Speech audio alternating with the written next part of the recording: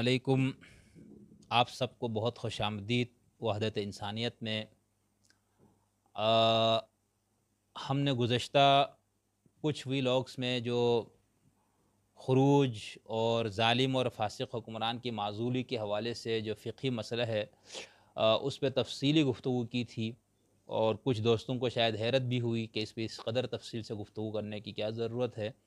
اور چونکہ ہم نے اصل میں امام حسین کے اہداف اور مقاصد پہ بات کرنی تھی، تو اس کے لیے اس قدر لمبی اور طویل گفتگو تو اس کی ضرورت تھی۔ ہم یہ سمجھتے تھے، اگر آپ کو اس کی ضرورت نہیں محسوس ہوتی تو بہت اچھی بات۔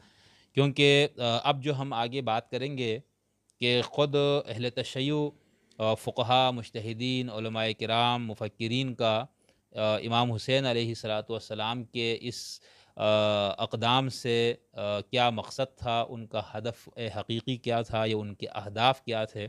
اس حوالے سے وہاں پر بے شمار آرا موجود ہے۔ تو اس لیے ضروری تھا کہ ہم پہلے اہل سنت کا خاص طور پر مسئلہ بیان کرے کہ انہوں نے اس امام حسین کے اس اقدام کو کس معنی میں، کس مفہوم میں لیا ہے۔ اور پھر قدیم شیعہ فقہا اس کے ہاں علماء کے ہاں اس کا کیا تصور تھا؟ پھر متاثرین اور جدید اور معاصر اہل علم اس حوالے سے کیا رائے رکھتے ہیں، یہ بہت ضروری اس لیے تھا، کیونکہ ہم آگے آپ جو باتیں بیان کرنے جا رہے ہیں، جب آپ وہ سنیں گے تو انشاءاللہ آپ کو اس کا اندازہ ہو جائے گا کہ وہ ساری گفتگو جو ہم نے خروج علی الحاکم کے حوالے سے کی تھی، کسی فاسق اور ظالم حاکم کی معذولی کے حوالے سے جو فقی بحث ہم نے آپ کے سامنے رکھی تھی اختصار کے ساتھ، تو اس کا اس کی کیا اہمیت تھی؟ اچھا اہل سنت کا جس میں نے آپ کو بار بار بتایا، ابھی دوبارہ بتا رہا ہوں مختصراً کہ وہ یہ کہ سمجھتے ہیں کہ یہ امام حسین نے خروج ہی کیا تھا اور یہ خروج کوئی برا لفظ، برا مفہوم اور کوئی گالی، کوئی مذمت کا کلمہ نہیں ہے، ٹھیک ہے؟ باغی کا کلمہ بہرحال مذمت کا ہے اہل سنت کے ہاں لیکن وہ کفر کا پھر بھی نہیں ہے۔ اور فقہ شافیہ نے کہا کہ وہ مذمت کا کلمہ بھی نہیں ہے، ٹھیک ہے؟ اور یہ اس صورت میں مذمت کا کلمہ ہوتا ہے جب آپ کسی عادل حکمران کے خلاف خروج کرے تو یہ بغاوت ہے یا یہ باغی ہے۔ لیکن جب آپ کسی ایسے حکمران کے خلاف خروج کرے جس کا معذول ہونا ضروری ہے، جو حکمرانی کی شرائط اس کے اندر ختم ہو چکی ہے، تو تو پھر ایسے لوگ اہل حق کا گروہ کہلائے گا جو اس قسم اس مقصد کے لیے اٹھ کھڑے ہوں۔ تو اہل سنت کی جمہور کے نزدیک امام حسین اور آپ کے ساتھ جنہوں نے ساتھ دیا، وہ سب اہل حق کا گروہ ہے، ٹھیک ہے؟ اچھا اس دور میں جن لوگوں نے ساتھ نہیں دیا، اس پہ ہم آگے جب بات آئے گی تو کریں گے کہ اس حوالے سے سنت کا موقف کیا ہے اور ان کی پوزیشن اس حوالے سے کیا ہے۔ لیکن یہاں پر چونکہ ہم صرف امام علی مقام ہی کے حوالے سے بات کر رہے تھے، تو اس لیے ہم اپنی گفتگو کو اسی حد تک محدود رکھتے ہیں۔ اب ہم چلتے ہیں اس بات کی طرف کہ اس حوالے سے امام حسین کے اس اقدام کے حوالے سے جو آپ نے یزید کے خلاف جو قدم اٹھایا اس جس کو ہم واقع کربلا کہتے ہیں، جس جو ایک اندوناک انسانی تاریخ کے واقعات میں سے ایک واقعہ ہے۔ اس حوالے سے کہ امام حسین نے یہ قدم اٹھایا کیوں؟ ٹھیک ہے، آپ کا بنیادی مقصد کیا تھا؟ کیا وہ کوئی ایک بنیادی ترین مقصد تھا؟ جس کے اندر باقی مقاصد آ جاتے ہیں یا ایک سے زائد مقاصد تھے جس کو ہم ہدف امام حسین کہتے ہیں ہدف قیام امام حسین، ٹھیک ہے؟ قدیم شیعوں کا اس حوالے سے جو نقطۂ نظر ہے اور جدید کا، اس میں فرق بھی انشاءاللہ آپ آگے ملاحظہ فرمائیں گے۔ ابھی میں کچھ ایک دو ویلاگس میں ہم آپ کو صرف یہ بتانے کی کوشش کریں گے کہ اس حوالے سے جو مختلف نظریات پائے جاتے ہیں وہ کیا ہے۔ اس کے لیے کچھ کتابوں کو میں بحوالہ آپ کی سامنے رکھوں گا تاکہ بات کو سمجھنے میں ہمارے لیے آسانی ہو۔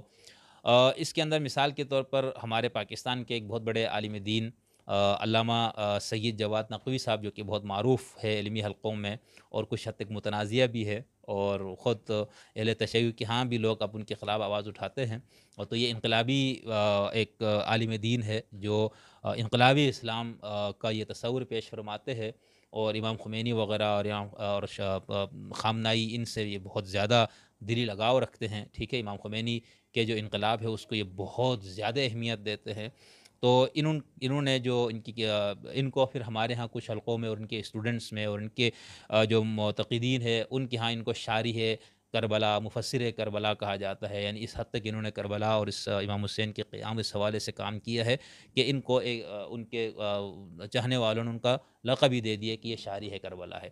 تو ان کی ایک کتاب ہے فلسفہ قیام امام حسین۔ یہ عام دستیاب ہے مارکیٹ میں، آپ بھی اس کو دیکھ لیجیے گا، اگر آپ کو اس موضوع سے دلچسپی ہے۔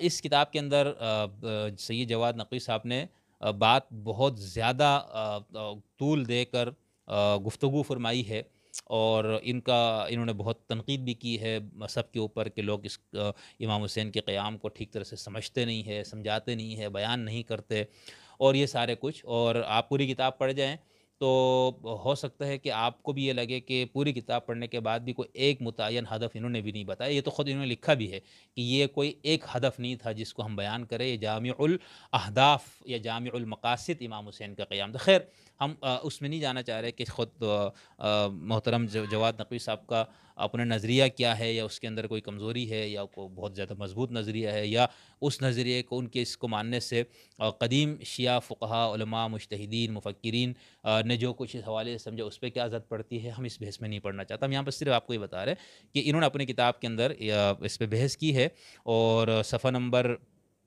ففٹی فائیو پہ موصوف لکھتے ہیں۔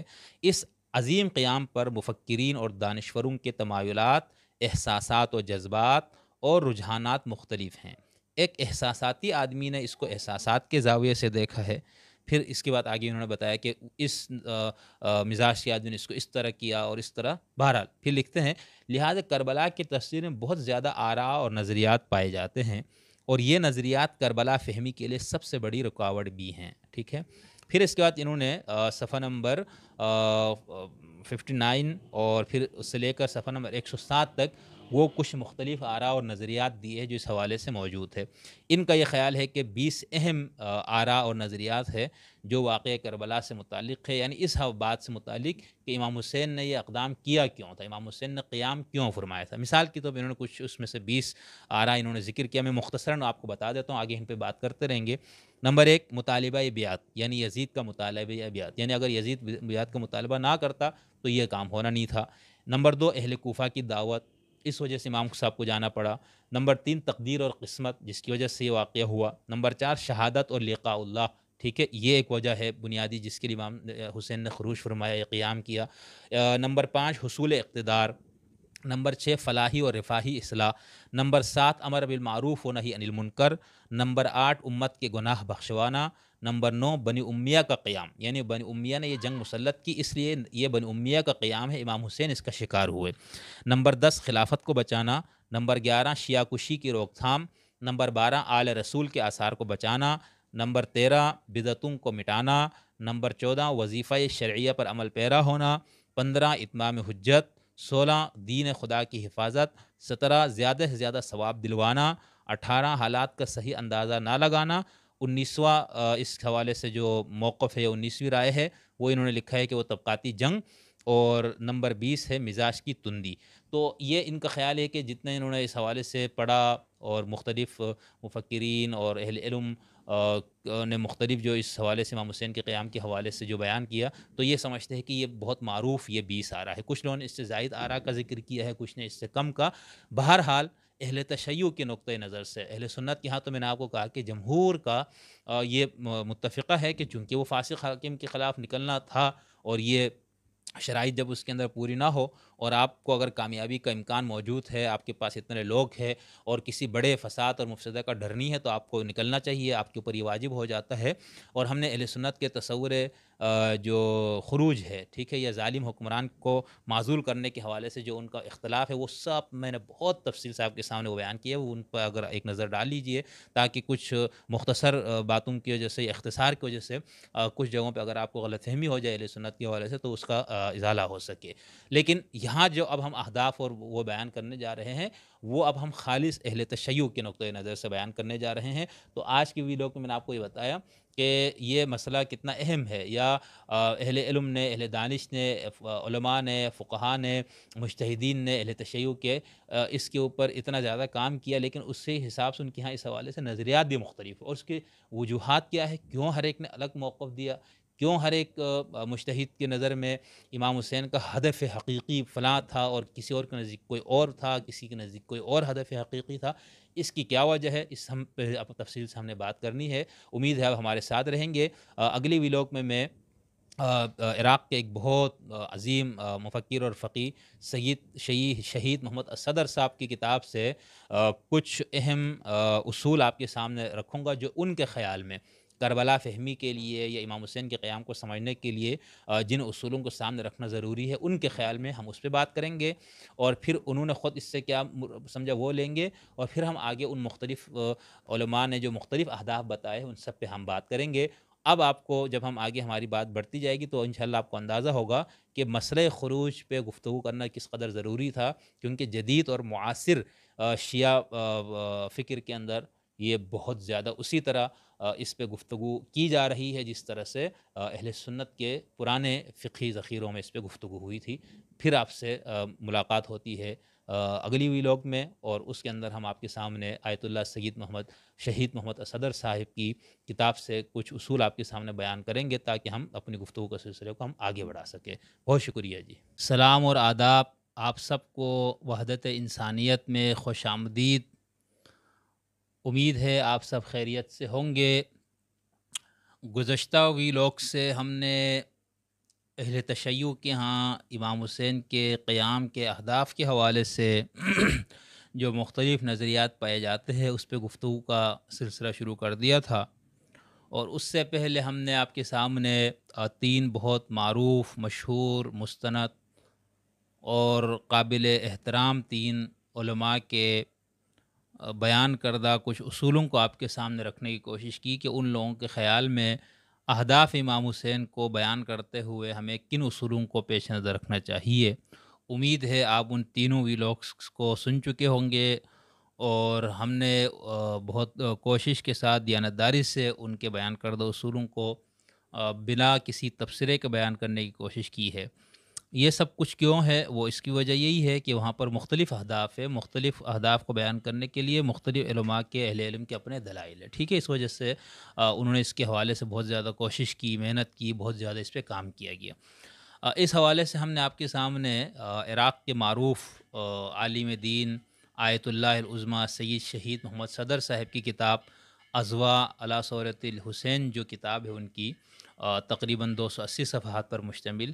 اس سے ہم نے کچھ اصول آپ کے سامنے بیان کیے تھے یا انہوں نے یہ جو بتایا تھا کہ کچھ چار بنیادی شرائط ہیں جو ان کے خیال میں جن کو پیش نظر رکھنا امام حسین کے اہداف کو بیان کرتے ہوئے، اس کے استخراج کرتے ہوئے، اس کو بیان کرتے ہوئے ان چار شرائط کو ان کا خیال ہے کہ پیش نظر رکھنا ضروری ہے، ورنہ ہم ٹھیک طرح سے امام حسین کے اہداف کو بیان نہیں کر سکیں گے۔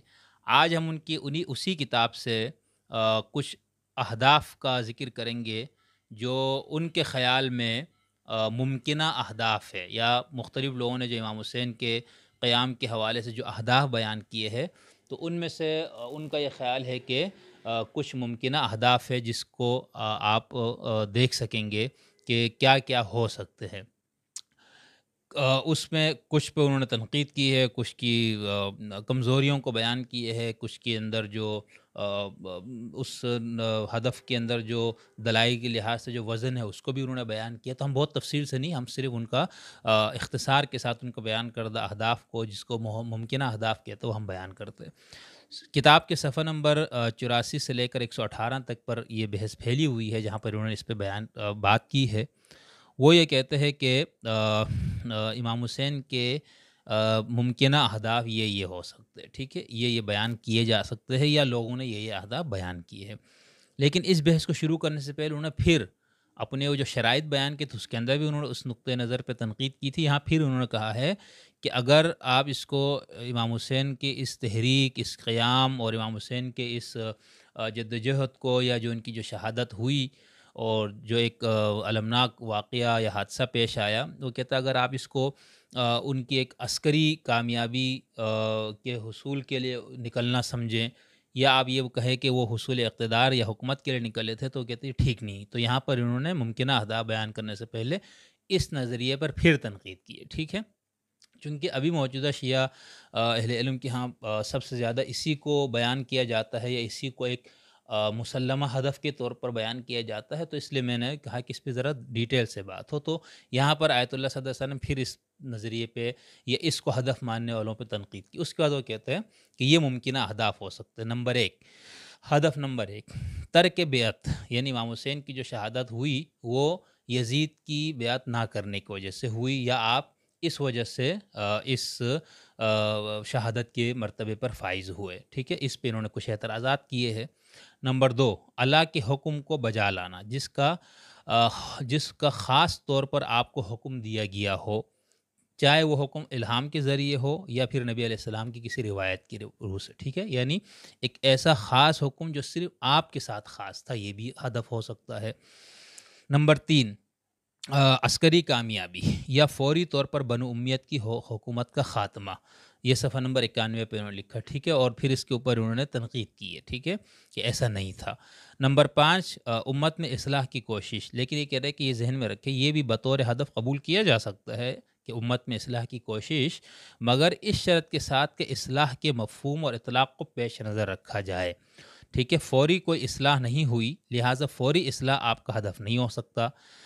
البتہ دیرپا اور بعد میں جو دینی، معنوی، انسانی اور اخروی ہدایت اور رہنمائی اس سے حاصل ہوئی ہے وہ بہت اہم ہے، ہم اس کو بھی آپ کا ہدف تسلیم کر سکتے ہیں۔ تو یہاں پر دیکھیں انہوں نے یہ بات کی کہ ہم ایک روایت امام حسین کے اپنے اس سے ہم پیش کرتے ہیں، ہمارے خطبہ ذاکرین، علماء، محققین، کہ امام نے تو کلیئر کہا تھا کہ میں اصلاح امت جتن کے لیے نکلا ہوں، میں امر المعروف کے لیے، تو یہ کہتے کہ اصلاح امت کا عنوان تو آپ دے سکتے ہیں، لیکن ذہن میں رکھے کہ اصلاح سے مراد کیا ہے، ٹھیک ہے؟ وہی بات کہ آپ کا دین کے حوالے سے بنیادی تفہیم آپ کا کیا ہے دین کی، ٹھیک ہے؟ اگر آپ انقلابی اسلام کو مانتے ہیں، سیاسی اسلام کو، تو آپ کے نزدیک ہدف کا اصلاح کا مفہوم کسی اور تناظر میں ہو جائے گا۔ ایک شخص صوفیانہ روایت سے جڑا ہوا ہے، تو اس کے نزدیک اور ہوگا۔ عرفانی یا صوفیانہ روایت کا جڑا ہوا آدمی، اس کے نزدیک امت کی اصلاح کا مفہوم کچھ اور ہوگا۔ اسی طرح اگر کوئی شخص جو ہے وہ فقہی حوالے سے فہم اس کی زیادہ ہے دین کی وہ سمجھتے کہ احکامات اور شریعت کی جو جو جو قوانین اور اصول ان کی پاسداری کرنا اور اس میں سے بھی دو لوگ ہو سکتے ایک تو وہ جو اس کو اجتماعی طور پر نافذ کرنے کے حوالے سے دین کا بنیادی فہم لیتے کچھ اس کو ایک انڈیویجول تو اس حوالے سے بھی اصلاح کا مفہوم مختلف ہو سکتا تو ان کا یہ کہنا ہے کہ آپ اس کو اصلاح امت کا عنوان تو دے سکتے ہیں، لیکن یہ ذہن میں رکھے کہ اس سے مراد پھر آپ کیا لے رہے ٹھیک، نمبر چھ، اہل کوفہ کی دعوت کو قبول کرنا۔ ٹھیک ہے؟ یعنی کچھ لوگوں نے یہ بتایا کہ بھئی یہ واقعی اس وجہ سے ہوا یا امام حسین کا مقصد یہی تھا کہ چونکہ کوفہ والوں کی طرف سے دعوت مسلسل آ رہی ہے تو مجھے نکلنا ہی ہے، تو اہل کوفہ کی دعوت کو قبول کرنا۔ لکھتے ہیں، اگرچہ یہ بات درست ہے کہ اہل کوفہ کی دعوت تھی اور آپ کو اس دعوت کو قبول کرنا بھی آپ کے لیے ضروری تھا، ٹھیک ہے؟ لیکن کہہ رہے اس پر بھی کئی اشکالات وارد ہوتے ہیں۔ نمبر سات، دین حنیف کے لیے ایک مثالی نمونہ فراہم کرنا۔ کچھ لوگوں نے اس کو بھی بیان کیا، ٹھیک ہے؟ کہ یہ مقصد یہ تھا کہ بعد میں آنے والے لوگوں کے لیے یا جو اس دین کے لیے، معاشرے کی اصلاح کے لیے کوئی قربانی اولاد کی، مال کی، جان کی دینا چاہے تو ان کے لیے ایک مثالی نمونہ فراہم کرنا مقصد تھا، بس اس کے علاوہ اور کوئی مقصد نہیں تھا۔ تو وہ کہتے ہیں کہ اور اس مثالی نمونے کو فراہم کرنے کے لیے اتنی بڑی قربانی کوئی بڑی بات نہیں ہے، بالکل ٹھیک ہے۔ نمبر آٹھ، حسین اس لیے قتل ہوئے امام حسین تاکہ ان پر ماتم کیا جائے اور رویا جائے۔ یہ اہم ترین دینی شاعر میں سے، یہ کہتے ہیں کہ یہ جو عزاداری وغیرہ، یہ تو دینی شاعر میں سے ہے، ٹھیک ہے؟ بہت سارے لوگ باطل سے حق کی طرف اسی وجہ سے آئے ہیں یا آتے ہیں۔ یہ ایک ہدایت کا، رہنمائی کا، معنوی فوائد کے حصول کا ایک بہت اہم ذریعہ ہے۔ تو کہتے ہیں کہ کچھ لوگ اس کو بطور ہدف بیان کرتے ہیں۔ اور ہم نے آپ کو گزشتہ جو وی لاک ہے، خاص طور پر جس کے اندر ہم نے محمد علیہ شہری صاحب اور ان کے معاون مصنفین کا نظریہ موسوعہ امام حسین کی روشنی میں بیان کیا تھا، اس کے اندر انہوں نے یہ بات کی، لیکن وہ کہتے ہیں کہ یہ ہدف کے طور پر نہیں بیان کر سکتے، یہ تو نتائج ہے۔ خیر تو یہاں پر جتنے انہوں نے اہداف بتائی کہ انہوں نے اس کا عنوان یہ رکھا کہ ممکنہ اہداف، ٹھیک ہے، ان میں سے ہر حد، اب میں ان کا اپنا ڈیٹیلس آپ کو نہیں بتا رہا ہوں، میں تو صرف ان کے، انہوں نے جو مختلف اہداف بیان کیے ہیں، وہ میں نے آپ کے سامنے رکھنے کی کوشش کی ہے۔ اگلی ویلوگ میں ہم ایک دو اور ہمارے اہل تشیع کے فقہ اور اہل علم ہے جنہوں نے امام حسین کے اہداف کے حوالے سے مزید کچھ یا اسی، انہی پانچ چھ یہ جو آٹھ یہاں بیان کی ہے، انہی سمیت کچھ مزید اہداف کا بھی ذکر کیا ہے۔ آپ ہمارے ساتھ رہیے، امید ہے آپ کو یہ سلسلہ پسند آ رہا ہوگا۔ بہت شکریہ، جزاکم اللہ خیر۔ سلام اور آداب، وحدت انسانیت یوٹیوب چینل پہ آپ سب کو خوش آمدید۔ ہم نے اہل تشیع کے نقطۂ نظر سے امام حسین کے خروج یا قیام کے اہداف کا بیان شروع کر دیا تھا۔ گزشتہ ویلوگ میں ہم نے آیت اللہ محمد صدر صاحب کی کتاب سے کچھ ممکنہ اہداف آپ کے سامنے رکھے تھے۔ آج ایک اور آیت اللہ شیخ محمد جواد فاضل نکرانی صاحب معروف عالم دین ہے۔ ان کے ایک مضمون سے ہم مزید کچھ اہداف کا بیان کریں گے جس کے بارے میں ان کا یہ خیال ہے کہ امام حسین علیہ السلام کے قیام کے حوالے سے ابھی تک جو اہداف بیان کیے گئے ہیں مختلف علماء اور فقہا اور مشتحدین کی طرف سے، وہ ان کے خیال میں کچھ پوائنٹس میں، کچھ نکات میں انہوں نے بیان کیے ہیں اور ان کا ایک مضمون ہے، ان حضرت الحسینیہ بین نظریت الشہادہ و اقامت الحکومہ۔ یعنی امام حسین علیہ السلام کا جو نہضہ ہے یا جو آپ کا قیام ہے اس کا بیان انہوں نے کیا ہے نظریہ شہادت اور نظریہ اقامت حکومت کے بیچ میں۔ یعنی یہ دو نظریات کے حوالے سے انہوں نے تفصیل سے لکھا ہے، لیکن اس کے اوپر بات کرنے سے پہلے انہوں نے حضرت امام حسین کے قیام کے حوالے سے جو اہداف کے حوالے جو مختلف نظریات ہے اس کو اپنے اس مضمون میں بیان کیا ہے۔ تو میں چاہتا ہوں ان کی اس مضمون سے وہ نظریات یا وہ اہداف آپ کے سامنے بیان کروں۔ نمبر ایک پہ انہوں نے رکھا ہے نظریہ شہادت ہے۔ یعنی آپ علیہ السلاۃ والسلام کا مقصد صرف اور صرف حصول شہادت تھا۔ بڑے بڑے محققین اور نامور علماء کا یہی موقف ہے۔ ٹھیک ہے، پھر اس کے بعد انہوں نے کچھ حوالے دیے ہیں اور یہ بتایا ہے کہ علیہ سنت کی تاریخ میں بہت بڑے بڑے نامور فقہا مشتحدین علماء ہے جو اس نقطۂ نظر کے قائل تھے۔ ہمارے ہاں عام طور پر اب اس کو ہلکا لیا جاتا ہے اس پہ تنقید کی جاتی ہے۔ خاص طور پر وہ لوگ جو انقلاب اور اسلام کو لایا ضابطۂ حیات اور نظام زندگی ایک سیاسی نظام کے طور پر لیتے ہیں۔ تو ان کے لیے پھر محض شہادت کے لیے اتنا بڑا قدم اٹھانا ان کو نہیں سمجھ میں آتا، تو یا تو اس کا انکار کر دیتے یا اس کی تعویل پیش کرتے۔ تو لیکن ان کا یہ خیال ہے کہ بڑے بڑے محققین اور نامور علماء کا یہی موقف ہے۔ دوسرا نظریہ انہوں نے بتایا کہ ہدف مرحلی یعنی مراحل میں اہداف کا بیان۔ کچھ علماء نے یہ نظریہ اپنایا ہے۔ یعنی دو ان کے مراحل تھے امام حسین کے قیام کے جو اہداف ہے، اس کے دو مراحل تھے۔ پہلے مرحلے پہ آپ کا مقصد اسلامی ریاست یا اسلامی حکومت کا قیام تھا اور مرحلہ نمبر دو میں جو آپ کا ہدف یا مقصد بنا وہ شہادت کا تھا اور یہ جو شہادت کا ہدف آپ نے جو بنایا امام حسین نے، اس کا مقصد یہ کب ہوا؟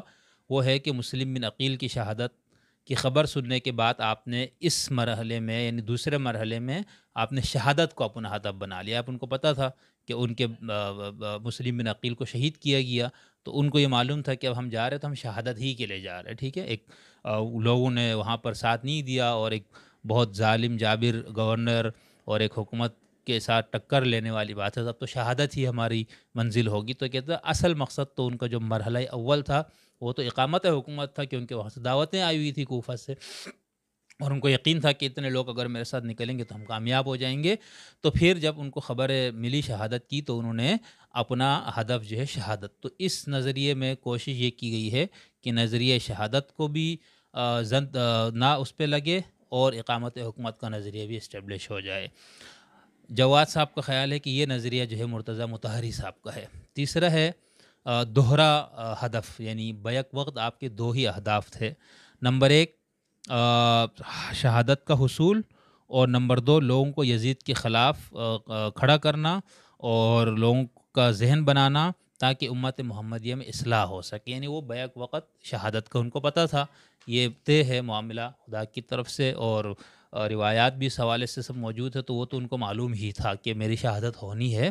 لیکن اس کے ساتھ ہی دوسرا مقصد انہوں نے یہ رکھا ہوا تھا، ہدف یہ تھا کہ لوگ جو ہے وہ اور لوگوں کو یزید کے خلاف کھڑا کرنا، تاکہ لوگ اٹھ کھڑے ہوں یزید جیسے ظالم حکمران کے خلاف۔ کہتے ہیں کہ یہ علامہ سعید مرتضی عسکری صاحب کا نظریہ ہے۔ نمبر تین، طولانی ہدف یعنی امام حسین علیہ السلاۃ والسلام کا کے جو اہداف تھے وہ تین مراحل میں تھے۔ ٹھیک ہے، نمبر ایک فوجی اور عسکری کامیابی اور اسلامی ریاست کا قیام یعنی وہ نکلے ہی ایک عسکری کامیابی کے امکان سے نکلے تھے کہ اب میں جاؤں گا، اتنے لوگ ساتھ ہوں گے، وہاں سے اتنے لوگ میرے جانصار وہاں پر موجود ہیں۔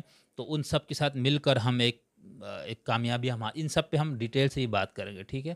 حاصل کر لیں گے کامیابی اور اس کامیابی کے نتیجے میں ہم اسلامی ریاست قائم کر لیں گے، حکومت کا قیام ہوگا۔ نمبر دو، جب یہ ہدف ناممکن نظر آیا یعنی امام حسین کو لگا کہ نہیں ہو سکتا یہ، وہاں پر لوگ بھی نہیں آئے اور جس انداز سے ان کا گھیراؤ کیا گیا تو ناممکن نظر آیا۔ تو آپ نے صلح کی طرف ہاتھ بڑھایا اور یہ ہمارے یہاں بہت سے لوگ اس کو سمجھتے ہیں کہ یہ صرف اہل سنت کے ہاں یہ نظریہ پایا جاتا ہے، حالانکہ اہل تشیع کے ہاں بھی پایا جاتا ہے۔ ٹھیک ہے، خیر۔ تو آپ نے صلح کی طرف ہاتھ بڑھایا، ٹھیک ہے، اور مصالحت کی پیشکش کی۔ پھر تیسرا یہ کہ یہ بھی نہ ہو سکا تو ذلت قبول کرنے کی وجہ آپ نے شہادت کا راستہ اختیار فرمایا، ٹھیک ہے؟ جواد صاحب کا خیال ہے کہ یہ کتاب شہید جاوید جو کہ میں نے پچھلے اس میں بھی حوالہ دیا تھا اور آگے ہم اس پہ تفصیل سے بات کریں گے الشہید الخالد جو عربی ترجمہ ہے آیت اللہ شیخ نحمۃ اللہ نجف آبادی کا، ان کا خیال یہ ہے کہ یہ نظریہ ان کا ہے یعنی اس کے اندر شہادت کے حصول کو مین ہدف نہیں رکھا گیا، ٹھیک ہے؟ اسی طرح صلح جو آپ کو مجبوری میں ایک ہاتھ بڑھانا ہے، اس پہ ہم بات کریں گے کہ ایسے مواقع پر صلح کے بجائے اگر آپ جان قربان کرتے ہیں تو پھر یہ کیا ہے؟ اس کے اوپر فقی کلامی اور حوالے سے کیا اعتراضات ہو سکتے جس کی وجہ سے پھر امام حسن کا اپنا ایک ان کا اسوہ موجود تھا، ٹھیک ہے؟ پھر حضرت علی کا بھی ایک اسوہ موجود تھا، خیر۔ پھر صلح حدیبیہ وغیرہ کی مثالیں پیش کی جاتی اس حوالے سے، تو وہ ایک اسوہ ہونے کے باوجود اس پہ عمل نہ کر کے آپ نے جانتے بوجھتے اگر اپنی جان گنوا دی کسی شخص نے، تو پھر وہ شریعت کے حساب سے اس پہ اعتراضات ہوتے۔ تو اس وجہ سے کوشش یہ کی گئی کہ انہوں نے یعنی کہ جب یہ لگا کہ اب موت ہی ہے، اس کے علاوہ حکومت تو قائم نہیں کر سکا میں، تو اب دوسری صورت جو ہے وہ صلح ہے اور تیسری صورت موت۔ تو امام حسین نے بجائے موت کو قبول کرنے کے پہلے صلح کی پیشکش کی اور اس پہ ہم ڈیٹیل سے بات کریں گے، ٹھیک ہے؟ تو آیت اللہ جواد صاحب لکھتے ہیں کہ یہ جو نظریہ ہے، یہ ایک تو نجف آبادی صاحب کا ہے اور پھر لکھتے ہیں کہ یہ نظریہ اہل سنت کے جمہور کے مطابق بھی ہے، ٹھیک ہے؟ پھر انہوں نے ایک دو مثالیں دی امام زہابی کی جو تاریخ الاسلام و وفیات المشاہر میں ہے، ابن جوزی کی اور اسی طرح شیخ مفید کا نظریہ بھی دیے گی، جس پہ ہم آگے بات کریں گے، ٹھیک ہے؟ کہ اس نظریے کو ماننے والے کیا قدیم شیعہ فق، فقہ میں یا فکر میں کچھ لوگ تھے؟ تو جتنے اس حوالے سے ہم نے ابھی تک کام کا ملا، کا جو ہم نے جائزہ لیا، تو اس حوالے سے تو تین لوگوں کے نام عام طور پر آئے اس میں ہم بات تفصیل سے کریں گے۔ پانچواں نظریہ، ان کا انہوں نے کہا ہے کہ کچھ لوگوں نے اہداف کو بیان کرتے ہوئے اقامت حکومت کو ہی لیا یعنی محض حکومت کا قیام، ٹھیک ہے؟ اور کوئی مقصد تھا ہی نہیں۔ آپ وسلم علیہ السلاۃ والسلام شہادت کے لیے نہیں، بلکہ قیام حکمت کے لیے نکلے تھے۔ لیکن آپ کو یہ معلوم تھا کہ یہ کام نہیں ہو سکے گا اور اس کا انجام شہادت کی صورت میں نکلے گا۔ ٹھیک ہے؟ یہ استادی رضا صاحب کی کتاب سے انہوں نے حوالہ دیا ہے کہ یہ ان کا خیال ہے۔ اسی طرح چھٹا نظریہ ہے، ظاہر اور باطن کا نظریہ، ٹھیک ہے؟ یعنی ظاہری لحاظ سے اقامت حکومت آپ کا مقصد تھا اور باطنی لحاظ سے آپ شہادت ہی کے طلبگار تھے کیونکہ وہ متعین تھا کہ آپ کی شہادت ہونی ہے۔ اور پھر یہ یہ جو نظریہ ہے، یہ فاضل نکرانی اور آیت اللہ اشراقی کا ہے، ٹھیک ہے؟ پاسداران وہی جو کتاب ہے، اس سے انہوں نے حوالہ دیے ہے نمبر سات، نظریہ تکلیف خاص، ٹھیک ہے؟ یعنی یہ صرف امام حسین کے لیے خاص تھا آپ ہی اس کے مکلف تھے، ٹھیک ہے؟ نہ کسی اور امام کو اس کا مکلف بنایا گیا اور امت میں سے تو کوئی اس کا مکلف ہے ہی نہیں، یہ صرف امام کے ساتھ خاص تھا۔ انہوں نے لکھا، ہم آگے ہی بات کریں گے کہ صاحب جواہر کا یہ نقطۂ نظر ہے، ٹھیک ہے؟ اسی طرح بہت سارے اور بھی علماء ہے جو اس نقطۂ نظر کے حامی یا حامل ہے کہ یہ حکم امت کے لیے یا باقی ائمہ کے لیے صرف امام حسین علیہ السلام کے ساتھ خاص تھا۔ اس کو تکلیف خاص کا نظریہ کہا گیا، ٹھیک ہے؟ یعنی مکلف بنایا گیا تھا صرف آپ کو، بس۔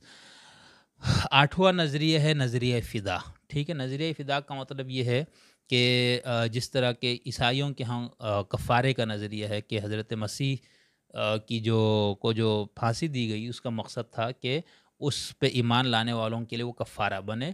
تو اہل تشیع میں بہت سارے لوگ اس نظریے کے قائل ہے کہ امام حسین کی یہ شہادت اس نظریے یا اس نقطۂ اس ٹائپ کی کوئی چیز ہے۔ اور امت کے لیے شفاعت اور گناہوں کے ازالے کے لیے آپ کی شہادت ہوئی ہے اور آپ کو اسی مقصد کے لیے اللہ تعالیٰ نے آپ کو شہید کروایا۔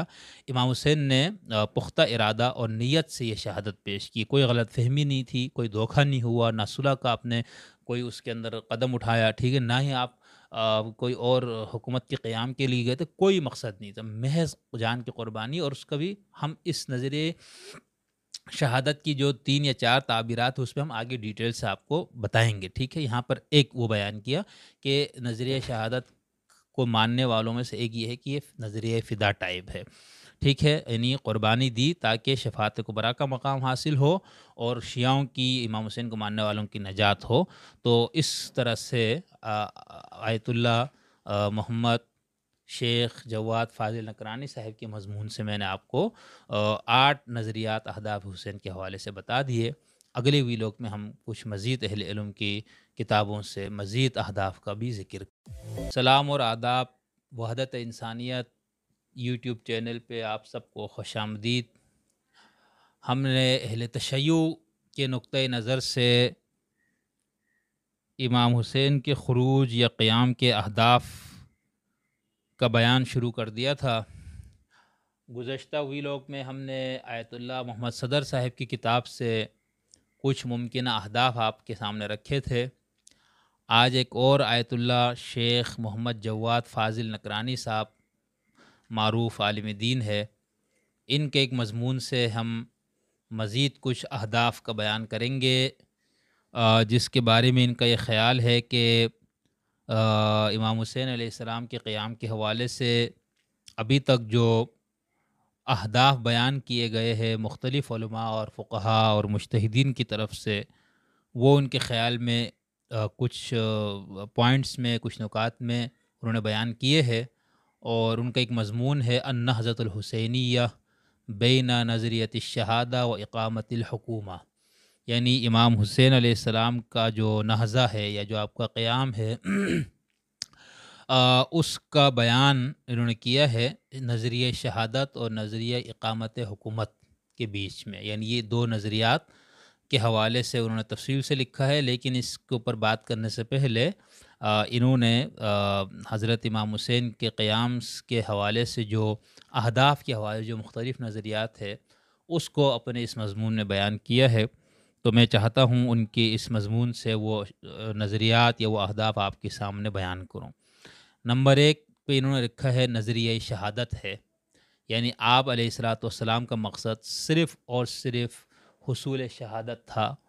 بڑے بڑے محققین اور نامور علماء کا یہی موقف ہے۔ ٹھیک ہے، پھر اس کے بعد انہوں نے کچھ حوالے دیے ہیں اور یہ بتایا ہے کہ علیہ سنت کی تاریخ میں بہت بڑے بڑے نامور فقہا مشتحدین علماء ہے جو اس نقطۂ نظر کے قائل تھے۔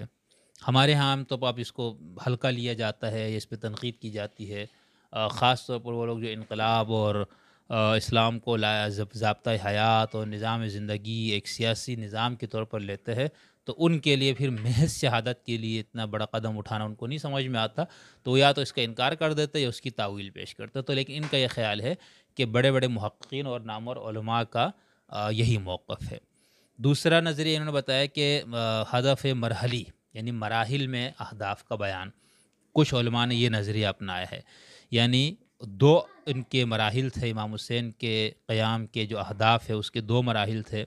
پہلے مرحلے پہ آپ کا مقصد اسلامی ریاست یا اسلامی حکومت کا قیام تھا اور مرحلہ نمبر دو میں جو آپ کا ہدف یا مقصد بنا وہ شہادت کا تھا اور یہ جو شہادت کا ہدف آپ نے جو بنایا امام حسین نے، اس کا مقصد یہ کب ہوا؟ وہ ہے کہ مسلم بن عقیل کی شہادت کی خبر سننے کے بعد آپ نے اس مرحلے میں یعنی دوسرے مرحلے میں آپ نے شہادت کو اپنا ہدف بنا لیا۔ آپ ان کو پتہ تھا کہ ان کے مسلم بن عقیل کو شہید کیا گیا تو ان کو یہ معلوم تھا کہ اب ہم جا رہے تو ہم شہادت ہی کے لے جا رہے ٹھیک ہے؟ ایک لوگوں نے وہاں پر ساتھ نہیں دیا اور ایک بہت ظالم جابر گورنر اور ایک حکومت کے ساتھ ٹکر لینے والی بات ہے، تب تو شہادت ہی ہماری منزل ہوگی۔ تو کہتے ہیں، اصل مقصد تو ان کا جو مرحلہ اول تھا، وہ تو اقامت حکومت تھا، کیونکہ وہاں سے دعوتیں آئی ہوئی تھی کوفہ سے۔ اور ان کو یقین تھا کہ اتنے لوگ اگر میرے ساتھ نکلیں گے تو ہم کامیاب ہو جائیں گے۔ تو پھر جب ان کو خبر ملی شہادت کی، تو انہوں نے اپنا ہدف جو ہے شہادت۔ تو اس نظریے میں کوشش یہ کی گئی ہے کہ نظریہ شہادت کو بھی زند نہ اس پہ لگے اور اقامت حکومت کا نظریہ بھی اسٹیبلش ہو جائے۔ جواد صاحب کا خیال ہے کہ یہ نظریہ جو ہے مرتضی متحری صاحب کا ہے۔ تیسرا ہے دوہرا ہدف یعنی بیک وقت آپ کے دو ہی اہداف تھے۔ نمبر ایک شہادت کا حصول اور نمبر دو، لوگوں کو یزید کے خلاف کھڑا کرنا اور لوگوں کا ذہن بنانا۔ تاکہ امت محمدیہ میں اصلاح ہو سکے۔ یعنی وہ بیک وقت شہادت کا ان کو پتہ تھا۔ یہ طے ہے معاملہ خدا کی طرف سے اور روایات بھی اس حوالے سے سب موجود ہے تو وہ تو ان کو معلوم ہی تھا کہ میری شہادت ہونی ہے۔ لیکن اس کے ساتھ ہی دوسرا مقصد انہوں نے یہ رکھا ہوا تھا، ہدف یہ تھا کہ لوگ جو ہے وہ لوگوں کو یزید کے خلاف کھڑا کرنا، تاکہ لوگ اٹھ کھڑے ہوں یزید جیسے ظالم حکمران کے خلاف۔ کہتے ہیں کہ یہ علامہ سعید مرتضی عسکری صاحب کا نظریہ ہے۔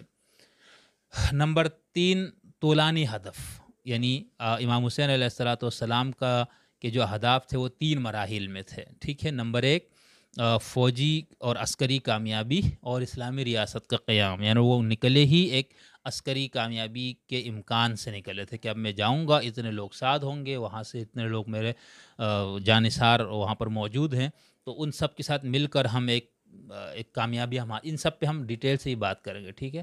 حاصل کر لیں گے کامیابی اور اس کامیابی کے نتیجے میں ہم اسلامی ریاست قائم کر لیں گے، حکومت کا قیام ہوگا۔ نمبر دو، جب یہ ہدف ناممکن نظر آیا یعنی امام حسین کو لگا کہ نہیں ہو سکتا یہ، وہاں پر لوگ بھی نہیں آئے اور جس انداز سے ان کا گھیراؤ کیا گیا تو ناممکن نظر آیا۔ تو آپ نے صلح کی طرف ہاتھ بڑھایا اور یہ ہمارے یہاں بہت سے لوگ اس کو سمجھتے ہیں کہ یہ صرف اہل سنت کے ہاں یہ نظریہ پایا جاتا ہے، حالانکہ اہل تشیع کے ہاں بھی پایا جاتا ہے۔ ٹھیک ہے، خیر۔ تو آپ نے صلح کی طرف ہاتھ بڑھایا، ٹھیک ہے۔ اور مصالحت کی پیشکش کی۔ پھر تیسرا یہ کہ یہ بھی نہ ہو سکا تو ذلت قبول کرنے کی وجہ آپ نے شہادت کا راستہ اختیار فرمایا، ٹھیک ہے؟ جواد صاحب کا خیال ہے کہ یہ کتاب شہید جاوید جو کہ میں نے پچھلے اس میں بھی حوالہ دیا تھا اور آگے ہم اس پہ تفصیل سے بات کریں گے الشہید الخالد جو عربی ترجمہ ہے آیت اللہ شیخ نحمۃ اللہ نجف آبادی کا، ان کا خیال یہ ہے کہ یہ نظریہ ان کا ہے یعنی اس کے اندر شہادت کے حصول کو مین ہدف نہیں رکھا گیا، ٹھیک ہے؟ اسی طرح صلح جو آپ کو مجبوری میں ایک ہاتھ بڑھانا ہے، اس پہ ہم بات کریں گے کہ ایسے مواقع پر صلح کے بجائے اگر آپ جان قربان کرتے ہیں تو پھر یہ کیا ہے؟ اس کے اوپر فقی کلامی اور حوالے سے کیا اعتراضات ہو سکتے جس کی وجہ سے پھر امام حسن کا اپنا ایک ان کا اسوہ موجود تھا، ٹھیک ہے؟ پھر حضرت علی کا بھی ایک اسوہ موجود تھا، خیر پھر صلح حدیبیہ وغیرہ کی مثالیں پیش کی جاتی اس حوالے سے۔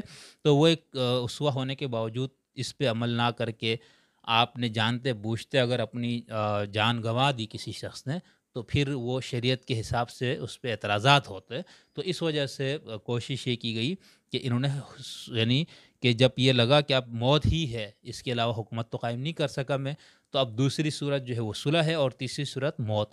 تو امام حسین نے بجائے موت کو قبول کرنے کے پہلے صلح کی پیشکش کی اور اس پہ ہم ڈیٹیل سے بات کریں گے، ٹھیک ہے؟ تو آیت اللہ جواد صاحب لکھتے ہیں کہ یہ جو نظریہ ہے، یہ ایک تو نجف آبادی صاحب کا ہے اور پھر لکھتے ہیں کہ یہ نظریہ اہل سنت کے جمہور کے مطابق بھی ہے، ٹھیک ہے؟ پھر انہوں نے ایک دو مثالیں دی، امام زہابی کی جو تاریخ الاسلام و وفیات المشاہر میں ہے، ابن جوزی کی اور اسی طرح شیخ مفید کا نظریہ بھی دیے گی جس پہ ہم آگے بات کریں گے، ٹھیک ہے؟ کہ اس نظریے کو ماننے والے کیا قدیم شیعہ فق، فقہ میں یا فکر میں کچھ لوگ تھے؟ تو جتنے اس حوالے سے ہم نے ابھی تک کام کا ملا، کا جو ہم نے جائزہ لیا، تو اس حوالے سے تو تین لوگوں کے نام عام طور پر آئے ہیں، اس میں ہم بات تفصیل سے کریں گے۔ پانچواں نظریہ، ان کا انہوں نے کہا ہے کہ کچھ لوگوں نے اہداف کو بیان کرتے ہوئے اقامت حکومت کو ہی لیا یعنی محض حکومت کا قیام، ٹھیک ہے؟ اور کوئی مقصد تھا ہی نہیں۔ آپ وسلم علیہ السلاۃ والسلام شہادت کے لیے نہیں، بلکہ قیام حکومت کے لیے نکلے تھے۔ لیکن آپ کو یہ معلوم تھا کہ یہ کام نہیں ہو سکے گا اور اس کا انجام شہادت کی صورت میں نکلے گا۔ ٹھیک ہے؟ یہ استادی رضا صاحب کی کتاب سے انہوں نے حوالہ دیا ہے کہ یہ ان کا خیال ہے۔ اسی طرح چھٹا نظریہ ہے، ظاہر اور باطن کا نظریہ۔ ٹھیک ہے؟ یعنی ظاہری لحاظ سے اقامت حکومت آپ کو مقصد تھا اور باطنی لحاظ سے آپ شہادت ہی کے طلبگار تھے، کیونکہ وہ متعین تھا کہ آپ کی شہادت ہونی ہے۔ اور پھر یہ یہ جو نظریہ ہے، یہ فاضل نکرانی اور آیت اللہ اشراقی کا ہے، ٹھیک ہے؟ پاسداران وہی جو کتاب ہے، اس سے انہوں نے حوالہ دیے ہے نمبر سات، نظریہ تکلیف خاص، ٹھیک ہے؟ یعنی یہ صرف امام حسین کے لیے خاص تھا، آپ ہی اس کے مکلف تھے، ٹھیک ہے؟ نہ کسی اور امام کو اس کا مکلف بنایا گیا اور امت میں سے تو کوئی اس کا مکلف ہے ہی نہیں، یہ صرف امام کے ساتھ خاص تھا۔ انہوں نے لکھا، ہم آگے ہی بات کریں گے کہ صاحب جواہر کا یہ نقطۂ نظر ہے، ٹھیک ہے؟ اسی طرح بہت سارے اور بھی علماء ہے جو اس نقطۂ نظر کے حامی یا حامل ہے کہ آ، یہ حکم امت کے لیے یا باقی ائمہ کے لیے نہیں، صرف امام حسین علیہ السلام کے ساتھ خاص تھا۔ اس کو تکلیف خاص کا نظریہ کہا گیا، ٹھیک ہے؟ یعنی مکلف بنایا گیا تھا صرف آپ کو، بس۔ آٹھواں نظریہ ہے نظریہ فدا۔ ٹھیک ہے، نظریہ فدا کا مطلب یہ ہے کہ جس طرح کے عیسائیوں کے ہاں کفارے کا نظریہ ہے کہ حضرت مسیح کی جو، کو جو پھانسی دی گئی، اس کا مقصد تھا کہ اس پہ ایمان لانے والوں کے لیے وہ کفارہ بنے۔ تو اہل تشیع میں بہت سارے لوگ اس نظریے کے قائل ہے کہ امام حسین کی یہ شہادت اس نظریے یا اس نقطہ، اس ٹائپ کی کوئی چیز ہے اور امت کے لیے شفاعت اور گناہوں کے ازالے کے لیے آپ کی شہادت ہوئی ہے اور آپ کو اسی مقصد کے لیے اللہ تعالیٰ نے آپ کو شہید کروایا۔ امام حسین نے پختہ ارادہ اور نیت سے یہ شہادت پیش کی۔ کوئی غلط فہمی نہیں تھی، کوئی دھوکہ نہیں ہوا، نہ صلح کا آپ نے کوئی اس کے اندر قدم اٹھایا، ٹھیک ہے، نہ ہی آپ کوئی اور حکومت کے قیام کے لیے گئے تھے، کوئی مقصد نہیں تھا۔ محض جان کی قربانی اور اس کا بھی ہم اس نظریے شہادت کی جو تین یا چار تعبیرات اس پہ ہم آگے ڈیٹیل سے آپ کو بتائیں گے، ٹھیک ہے؟ یہاں پر ایک وہ بیان کیا کہ نظریہ شہادت کو ماننے والوں میں سے ایک یہ ہے کہ یہ نظریہ فدا ٹائپ ہے، ٹھیک ہے؟ یعنی قربانی دی تاکہ شفاعت قبرا کا مقام حاصل ہو اور شیعوں کی، امام حسین کو ماننے والوں کی نجات ہو۔ تو اس طرح سے آیت اللہ محمد شیخ جواد فاضل نکرانی صاحب کے مضمون سے میں نے آپ کو آٹھ نظریات اہداف حسین کے حوالے سے بتا دیے۔ اگلے ویلوگ میں ہم کچھ مزید اہل علم کی کتابوں سے مزید اہداف کا بھی ذکر کریں گے۔ سلام اور آداب۔ امید ہے آپ سب خیریت سے ہوں گے۔ ایک بار پھر آپ کو وحدت انسانیت میں بہت زیادہ خوش آمدید۔ امام حسین علیہ السلاۃ والسلام کے قیام کے حوالے سے جو مختلف اہداف، اہل تشیع، اہل علم بیان کرتے ہیں، ہم ان پہ گفتگو کر رہے تھے اور یہ بہت ضروری اس لیے ہے کیونکہ عام طور پر عوام میں اور یہاں تک کہ خواص میں بھی اس حوالے سے کافی غلط فہمیاں بھی پائی جاتی ہے اور یا پھر کسی ایک مقصد کو ہی سمجھا جاتا ہے کہ یہی امام حسین کے قیام کا مقصد تھا۔ جیسے آج کل کے دور میں جب انقلابی اسلام کا غلغلہ اہل تشیع میں زیادہ بڑھ گیا ہے اور ان کے ہاں اب اسلام کی تعبیر اور تشریح جس انداز سے، سیاسی انداز سے کی جا رہی ہے اور گزشتہ سو سال میں اہل سنت نے جس تشریح کو پیش کر کے اہل سنت سے تعلق رکھنے والے علماء نے، ان میں سے بہت سے آزاد خیال ہے ہم ان کو اہل سنت کے دائرے میں نہیں شامل کر سکتے۔ لیکن تھے وہ اہل سنت ہی سے تعلق رکھنے والے۔ تو ادھر پھر جو تباہی اس نظریے سے آئی وہ ہم سب کے سامنے ہے۔ تو اس پہ اب اہل تشیع کے ہاں کام ہو رہا ہے اور بہت آب و تاب سے اور زور و شور سے ہو رہا ہے۔ تو اب اس حوالے سے پھر امام حسین کا مقصد بہت دل کو باتا بھی ہے اچھا بھی لگتا ہے، سمجھنے بھی آتا ہے۔ کوئی ایک خاص طور پر جبر کے جن معاشروں میں مسلمانوں کا کی رہائش ہے یا ہم رہتے ہیں مسلمان خاص طور پر، تو وہاں پر تو یہ پھر بہت زیادہ اہم ہے کہ ایک ظالم اور ایک غاصب، ایک فاسق حکمران کے خلاف، ایک ناجائز حکمران کے خلاف قیام کرنا وہ کتنا اہم کام ہے اور اس کے لیے امام حسین نے بھی قدم اٹھایا۔ تو اس لیے اب تو اس کو ایک مسلمہ اس کے طور پر پیش کیا جاتا ہے۔